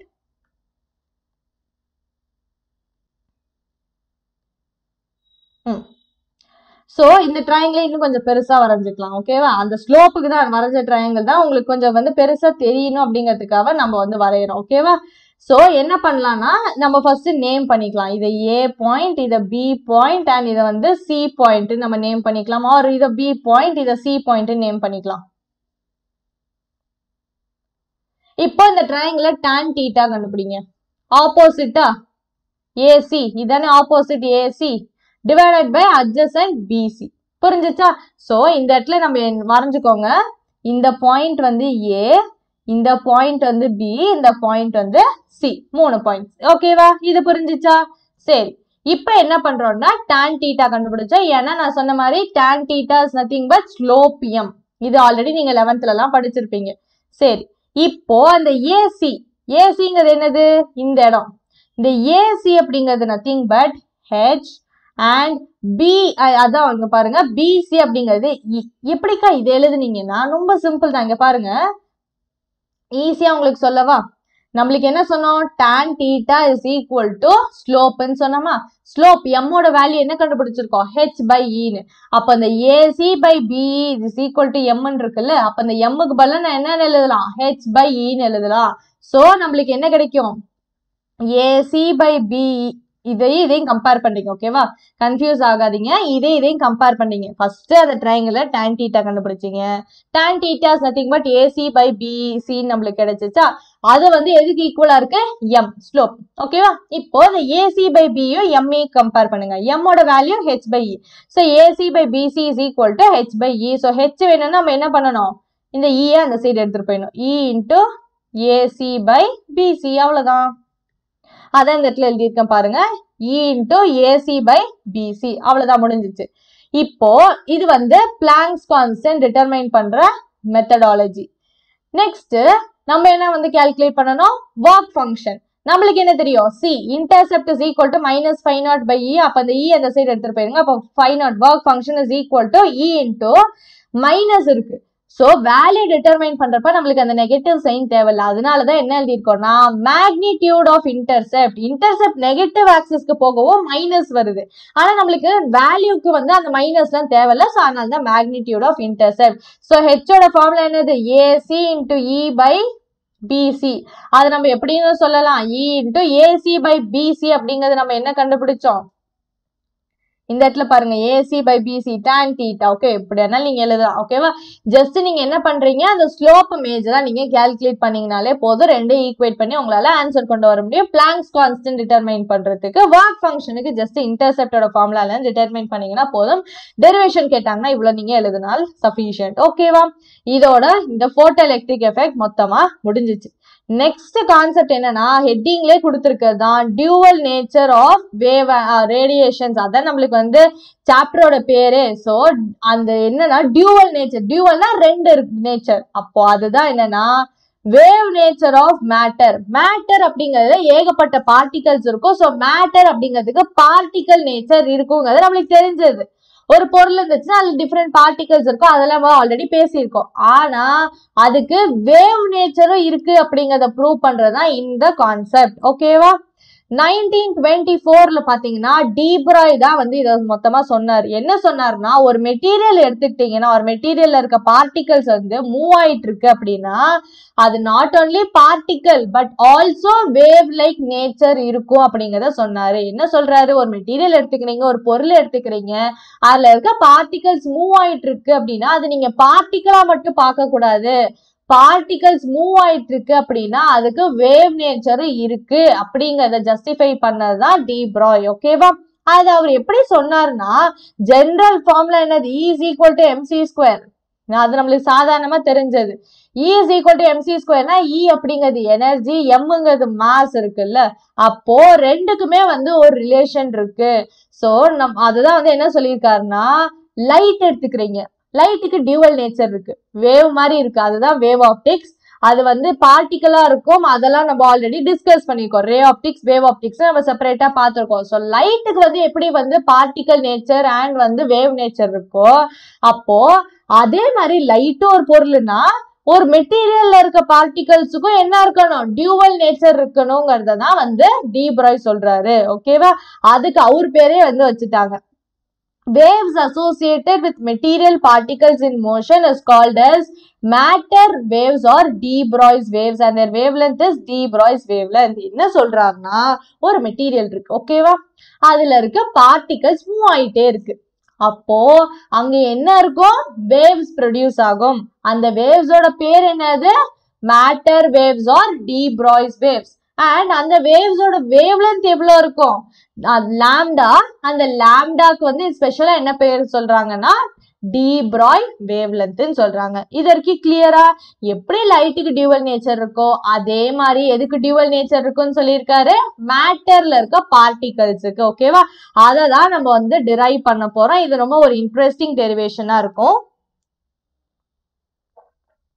ஸோ நம்மளுக்கு எனர்ஜி ஆஃப் ஃபோட்டான் வேல்யூ என்னது? H nu Einstein's mass energy relationship என்னது? E is equal to MC square இப்போ ரெண்டுமே எனர்ஜி தான் கரெக்டா ரெண்டுமே இ தான். அப்ப ரெண்டையுமே ஈக்குவேட் பண்ணலாமா? அப்ப நம்ம என்ன போடலாம்? H nu is equal to MC ஸ்கொயர்னு போடலாமா இல்லையா? சரியா? இப்போ ஹெச் இன்ட்டு நியூ அப்படிங்கிறதோட ஃபார்முலா சி பை லாம்டா எப்படி? ஸ்பீட் ஆஃப் லைட் அப்படிங்கிறது ஃப்ரீக்வன்சி இன்ட்டு வேவ்லென்த் அப்போ ஃப்ரீக்வன்சி வேணும்னா frequency is nothing but speed of light divided by wave length lambda is equal to MC square இப்போ இந்த சியும் இந்த ஸ்கொயரும் கேன்சல் ஆயிரும். H by lambda is equal to எம்சின்னு கிடைக்குமா? இது வரைக்கும் புரிஞ்சிச்சா? அதான் இந்த இடத்துல நான் சேம் அதே தான் இந்த இடத்துல எழுதிட்டு வரேன். ஓகேவா இப்போ என்ன பண்றோம்னா இது ரெண்டையும் இன்டர்சேஞ்ச் பண்றோம். H by MC is equal to லேம்டான்னு எழுதுறோம். ஓகேவா இது புரிஞ்சிச்சா? H by M into C அப்படிங்கிறது என்னன்னு எழுதுறேன்னா பின்னு எழுதுறேன். எப்படின்னா மொமெண்டமோட ஃபார்ம்ல என்னது? Mass into velocity velocity of light தான் ஸ்பீட் ஆஃப் லைட் தான் சின்னு போடுவோம். ஸோ அது சி வி எல்லாமே சிமிலர் தான். ஸோ அதனால தான் அந்த எம்சி அப்படிங்கிறதுக்கு பதிலாக நான் என்ன போட்டேன்? மொமெண்டம்னு போட்டேன். So lambda is equal to H by எம்சின்னு சொல்லலாம். இல்லைன்னா ஹெச் பை பின்னு சொல்லலாம். இதுதான் மேஜர் ஃபார்முலா அந்த சீன் நம்ம எப்போ யூஸ் பண்ண மாட்டோம். அது என்னன்னு போட்டுருவோம்? வின்னு போட்டுருவோம். அப்போ lambda is nothing but H by P பிக்கு பதிலாக என்னன்னு நீங்க போடலாம். எம்இன்னு போடலாம். ஹெச் பை எம்இ இதுதான் de Broglie's wave equation lambda is equal to H by P that is equal to H by ME ரொம்ப சிம்பிள் டெரிவேஷன் தான். ஐன்ஸ்டைன்ஸ் மாஸ் எனர்ஜி ஈக்குவேஷனையும் எனர்ஜி ஆஃப் ஃபோட்டானையும் கம்பேர் பண்ணீங்கன்னா முடிஞ்சு போச்சு. ரொம்ப ரொம்ப சிம்பிளானது இது. கரெக்டா இல்லையா? இதுல இருந்து வந்து ஒரு சில பாயிண்ட்ஸ் ஒரு சில கன்க்ளூஷன் சொல்லியிருக்காங்க பாருங்க. என்ன கன்க்ளூஷன் சொல்லியிருக்காங்க அப்படின்னா ஃபர்ஸ்ட் திங் லாம்டாவும் வந்து மொமெண்டம் லாம்டா நியூமரேட்டர்ல இருக்க மொமெண்டம் டினாமினேட்டர்ல இருக்க. அப்ப ரெண்டுமே இன்வெர்ஸ்லி ப்ரொபோர்ஷனல் ரெண்டாவது என்ன சொல்றாங்கன்னா இப்ப இந்த ஃபார்ம்ல பாருங்க. வி வெலாசிட்டி ஜீரோவா இருக்கு. அப்படின்னா என்ன அர்த்தம்? அந்த பார்ட்டிகல்ஸ்லாம் மூவ் ஆகாம அமைதியே சாந்தமா உட்காந்துருச்சு அப்படின்னா one by zero anything by zero is nothing but infinity கரெக்டா இல்லையா? அப்போ லேம்டாவோட வேல்யூ வந்து இன்ஃபினிட்டி ஆயிரும். அப்போ வந்து அது அவ்வளோ பெரிய வேல்யூவா இருந்துச்சு அப்படின்னா நம்மளுக்கு வந்து அப்போ லேம்டாவே இல்லாம போயிடும் அவ்வளோ ஐ மீன் இன்ஃபினிட்டினா நம்மளால எதுவுமே வந்து ஸ்பெசிஃபை பண்ண முடியாது. கரெக்டா இல்லையா? ஸோ அதுல இருந்து தான் நம்மளுக்கு என்ன சொல்றாங்க அப்படின்னா அந்த மேட்டர்ல இருக்க பார்ட்டிகல்ஸ் மூவ் ஆயிட்டு இருந்தா மட்டுமே நம்மளுக்கு என்ன இருக்கும்? டீப்ராய்ஸ் வேவ்ஸும் டீப்ராய்ஸ் வேவ் லென்த்தும் இருக்கும்.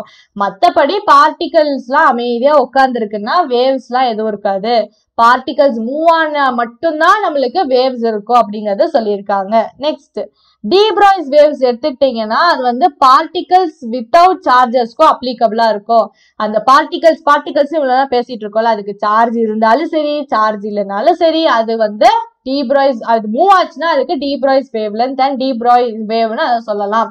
லாஸ்ட் பாயிண்ட் என்ன சொல்றாங்கன்னா இந்த வேவ்ஸ் இருக்குல்ல டீப்ராய்ஸ் வேவ்ஸ் அதை வந்து எலக்ட்ரோ மேக்னெட்டிக்னு நம்மளால சொல்ல முடியாது. ஏன் எலக்ட்ரோ மேக்னெட்டிக் வேவ்ஸ் எப்போ ப்ரொடியூஸ் ஆகும்? ஆக்சிலரேட்டட் சார்ஜ்டு பார்ட்டிகல்ஸ்ல இருந்து ஆனா இப்பதான் நம்ம என்ன சொன்னோம்? டீப்ராய்ஸ் வேவ்ஸுக்கு சார்ஜ் அவசியம் இல்லைன்னு சொல்லிட்டோம். புரிஞ்சிச்சா? ஸோ இதுதான் டீப்ராய்ஸ் வேவ்லென்த் கிளியரா இது?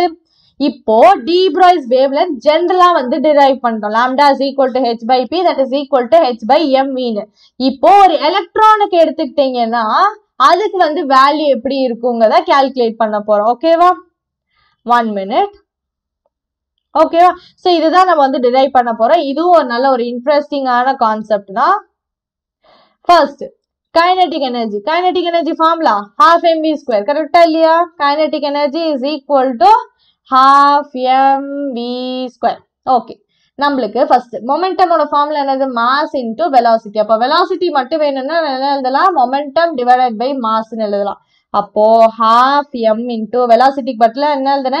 P by M the whole square அப்போ என்ன ஆகும்? Half M into P square by M ஸ்கொயர்னா இருக்குமா? அப்போ இந்த எம்மும் இந்த ஸ்கொயரும் கேன்சல் ஆகிட்டு என்ன இருக்கும்? P square divided by two எம்னு இருக்கும். அதான் எழுதியிருக்கோம். ஹாஃப் பி ஸ்கொயர் பை எம்ங்கிறது கைனட்டிக் எனர்ஜியா இருக்கும். இப்போ நம்மளுக்கு என்ன தெரியும்? கைனட்டிக் எனர்ஜி எதுக்கு ஈக்குவல் இவிக்கு ஈக்குவல் எவ்வளோ அந்த எலக்ட்ரான் வேலை செய்யுதோ அதுதான் வந்து அதோட ஒர்க் டன் அப்போ அந்த ஒர்க் டன் தான் அதோட கைனட்டிக் எனர்ஜி அப்போ இவி இது கேபிட்டல் வி? ஓகேவா அப்போ இந்த கண்டுபிடிச்சிருக்கோம்ல ஹாஃப் பி ஸ்கொயர் பை எம்ங்கிறது அதுக்கு எதுக்கு அது எதுக்கு ஈக்குவலா இருக்கும்? இ இன்டூ வி அப்படிங்கிறதுக்கு ஈக்குவலா இருக்கும். அந்த எலக்ட்ரான் செய்யற வேலைக்கு. இந்த இடத்துல நம்ம அதை ஸ்டாப் பண்ணி அமுக்கி அதனால இ வி நாட் எல்லாம் போட போறது. ஜஸ்ட் நம்ம தெரிஞ்சுக்கிறோம். ஒரு எலக்ட்ரான் மூவ் ஆகுது.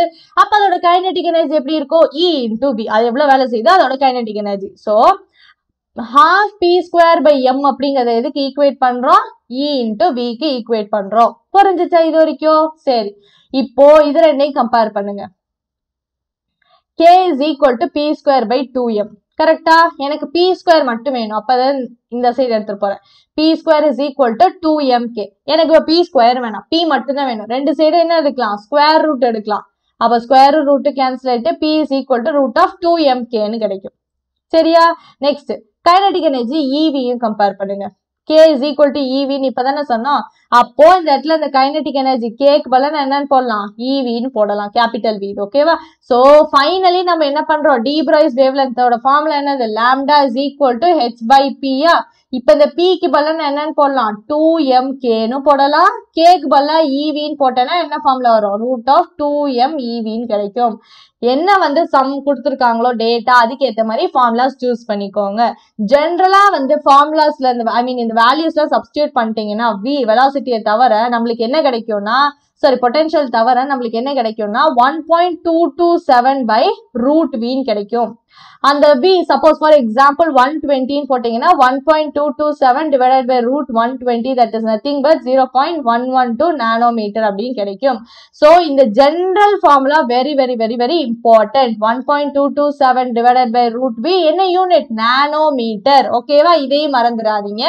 இதுதான் de Broglie waves and de Broglie wavelength இதுக்கப்புறம் இருக்கிறது எல்லாமே நோட்டு நோட்ல இருக்கிறது அவ்வளோ இம்பார்ட்டன்ட் கிடையவே கிடையாது. ஓகேவா இது நிறைய புக்ஸ்லாம் வந்து கொடுத்துருக்கு கொடுத்துருக்கவே மாட்டாங்க. பட் என்சிஆர்டியில் கொடுத்துருக்கனால நான் எழுதியிருக்கேன். அவ்வளோ இம்பார்ட்டன்ட் ஆனது கிடையவே கிடையாது. ஜஸ்ட் ஆனால் ஒன்ஸ் தெரிஞ்சுக்கோங்க. திடீர்னு வந்து கேட்டாங்கன்னா அதுக்காக ஜஸ்ட் நீங்க தெரிஞ்சுக்கிட்டீங்கன்னா போதும். ஓகேவா first thing photoelectric effect Compton effect இது எல்லாமே நம்ம எப்படி எக்ஸ்பிளைன் பண்ணலாம்? குவாண்டம் தியரி ஆஃப் லைட்டை வச்சு எக்ஸ்பிளைன் பண்ணலாம். Quantum light is made up of particle அப்படிங்கிறத வச்சு தான் போட்டோ எலக்ட்ரிக் எஃபெக்ட் ஆனாலும் சரி காம்டான் எஃபெக்ட் ஆனாலும் சரி அதெல்லாம் எக்ஸ்பிளைன் பண்ண முடியும்.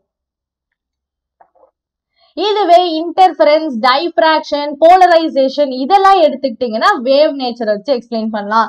ஸோ லைட்டுக்கு வந்து டியூவல் நேச்சர் இருக்குங்கிறதே ஜஸ்டிஃபை பண்ணிட்டாங்க. இப்போ நம்ம என்ன பார்த்தோம்? மேட்டர் பார்ட்டிகல்ஸுக்கு டியூவல் நேச்சர் இருக்குன்னு சொன்னோம்ல. ஸோ எப்படி லைட்டுக்கு டியூவல் நேச்சர் இருக்கும் ஏன்னா லைட்ல வந்து இந்த போட்டோ எலக்ட்ரிக் எஃபெக்ட் காம்டான் எஃபெக்ட்லாம் எப்படி நம்ம எக்ஸ்பிளைன் பண்ணுறோம் due to the quantum theory of லைட்டுன்னு சொல்கிறோம் இதுவே இந்த இன்டர்ஃபரன்ஸ் டைஃப்ராக்ஷன் போலரைசேஷன் இதெல்லாம் நம்ம எப்படி சொல்றோம்? வேவ் நேச்சர் ஆஃப் லைட்டை வச்சு நம்ம சொல்றோம். இதெல்லாம் ஆல்ரெடி நம்ம டிஸ்கஸ் பண்ணியிருக்கோம். இது ஒரு பாயிண்ட் ரெண்டாவது பாயிண்ட் வந்து என்ன பாத்தீங்கன்னா இப்போ இந்த மேட்டர் வேவ்ஸ் ஆர் இந்த டீப்ராய்ஸ் வேவ்ஸ் இருக்குல்ல அத வந்து அதுல வந்து பாத்தீங்கன்னா இந்த ஹைசன்பர்க்ஸ் அன்சர்டனிட்டி பிரின்சிபலை இன்கார்பரேட் பண்ணியிருக்காங்க. என்ன சொல்றாங்கன்னா according to this Heisenberg's uncertainty principle ஒரு பர்டிகுலர் டயத்துல இப்போ இந்த நொடி எடுத்துக்கிட்டீங்கன்னா இந்த செகண்ட் எடுத்துக்கிறீங்கன்னா ஒரு பர்டிகுலர் செகண்ட்ல நம்மளால அந்த வேவோட அந்த பார்ட்டிகளோட பொசிஷன் அண்ட் மொமெண்டம் ரெண்டையுமே கால்குலேட் பண்ண முடியாது. இது ஆல்ரெடி லெவன்த்ல படிச்சது தான் so it isn't possible to measure both the position and the momentum of a subatomic particle at the same time exactly. ஒரே டைப்ல பொசிஷன் அண்ட் மொமெண்டம் ரெண்டையுமே கால்குலேட் பண்ண முடியாது. அதுதான் அன்சர்டனிட்டி ஓகேவா அது நம்ம எப்படி ரெப்ரசென்ட் பண்றோம்னா பொசிஷன்ல என்ன வந்து அன்சர்டனிட்டி இருக்குன்னா டெல் எக்ஸ் மொமெண்டம்ல இருக்கிறது டெல் பி ரெண்டையும் மல்டிப்ளை பண்ணீங்கன்னா it should be greater than h by four pi ஓகேவா சரி. இப்போ இன்னொன்னு என்ன வந்து யூஸ் பண்ணியிருக்காங்கன்னா மேக்ஸ் பாண்டோட இந்த ஒரு கான்செப்ட் யூஸ் பண்ணியிருக்காங்க என்ன சொல்றாங்கன்னா ஒரு பார்ட்டிகளோட லொக்கேஷன் நீங்க வந்து சொல்லணும் அப்படின்னா நீங்க என்ன பண்ணணும் அப்படின்னா interpretation to the matter waves amplitude so என்ன சொல்றாங்கன்னா square of the amplitude of the matter wave at a point is related to the probability density of the particle. If அது என்ன சொல்றாங்கன்னா இன்டென்சிட்டி அதிகமா இருந்துச்சு அப்படின்னா there is a greater probability of the particle being found in a certain region. So according to வந்து Max பானோட தியரியில் என்ன சொல்கிறாங்கன்னா நம்மளுக்கு இன்டென்சிட்டி அதிகமாக இருந்துச்சுன்னா ஒரு பர்டிகுலர் ஏரியாவில் ஒரு பர்டிகுலர் பார்ட்டிக்கல் இருக்கிறதுக்கான ப்ராபபிலிட்டி அதிகமாக இருக்கும். அதோட ப்ராபபிலிட்டி டென்சிட்டி இன்க்ரீஸ் ஆகும். அக்கார்டிங் டு டீப்ராய் என்ன சொல்கிறாருன்னா இப்போ electron has a definite momentum p ஓகேவா இது ஃபோர்டீனுங்கிறது பேஜ் நம்பர் சரியா?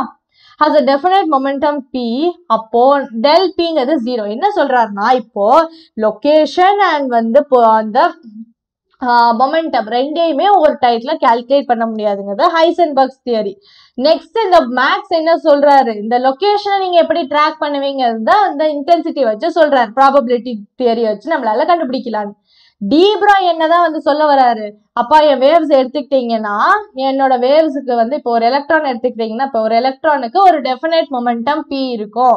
டெஃபினட் மொமெண்டம் இருக்கு அப்படின்னா டெஃபினட் வேல்யூ இருக்கு. அப்போ அன்சர்டினிட்டி இல்ல. டெல் பி ஜீரோவா இருக்கும். ஸோ டெஃபினட் மொமெண்டம் இருந்துச்சுன்னா டெஃபினட் லேம்டா இருக்கும். ஏன்னா lambda is equal to h by p ஹெச்ங்கிறது constant அப்போ பி ஒரு பர்டிகுலர் வேல்யூ இருந்துச்சுன்னா லேம்டாவும் வந்து ஒரு பர்டிகுலர் வேல்யூ இருக்கும். அப்போ இந்த வேவ் வந்து இந்த மாதிரி ப்ராப்பரா இருக்கும். அந்த வேவ் வந்து எப்படி இருக்கும்? Such a wave of single wavelength அதுக்கு ஒரே ஒரு வேவ் லென்த் தான் இருக்கும்.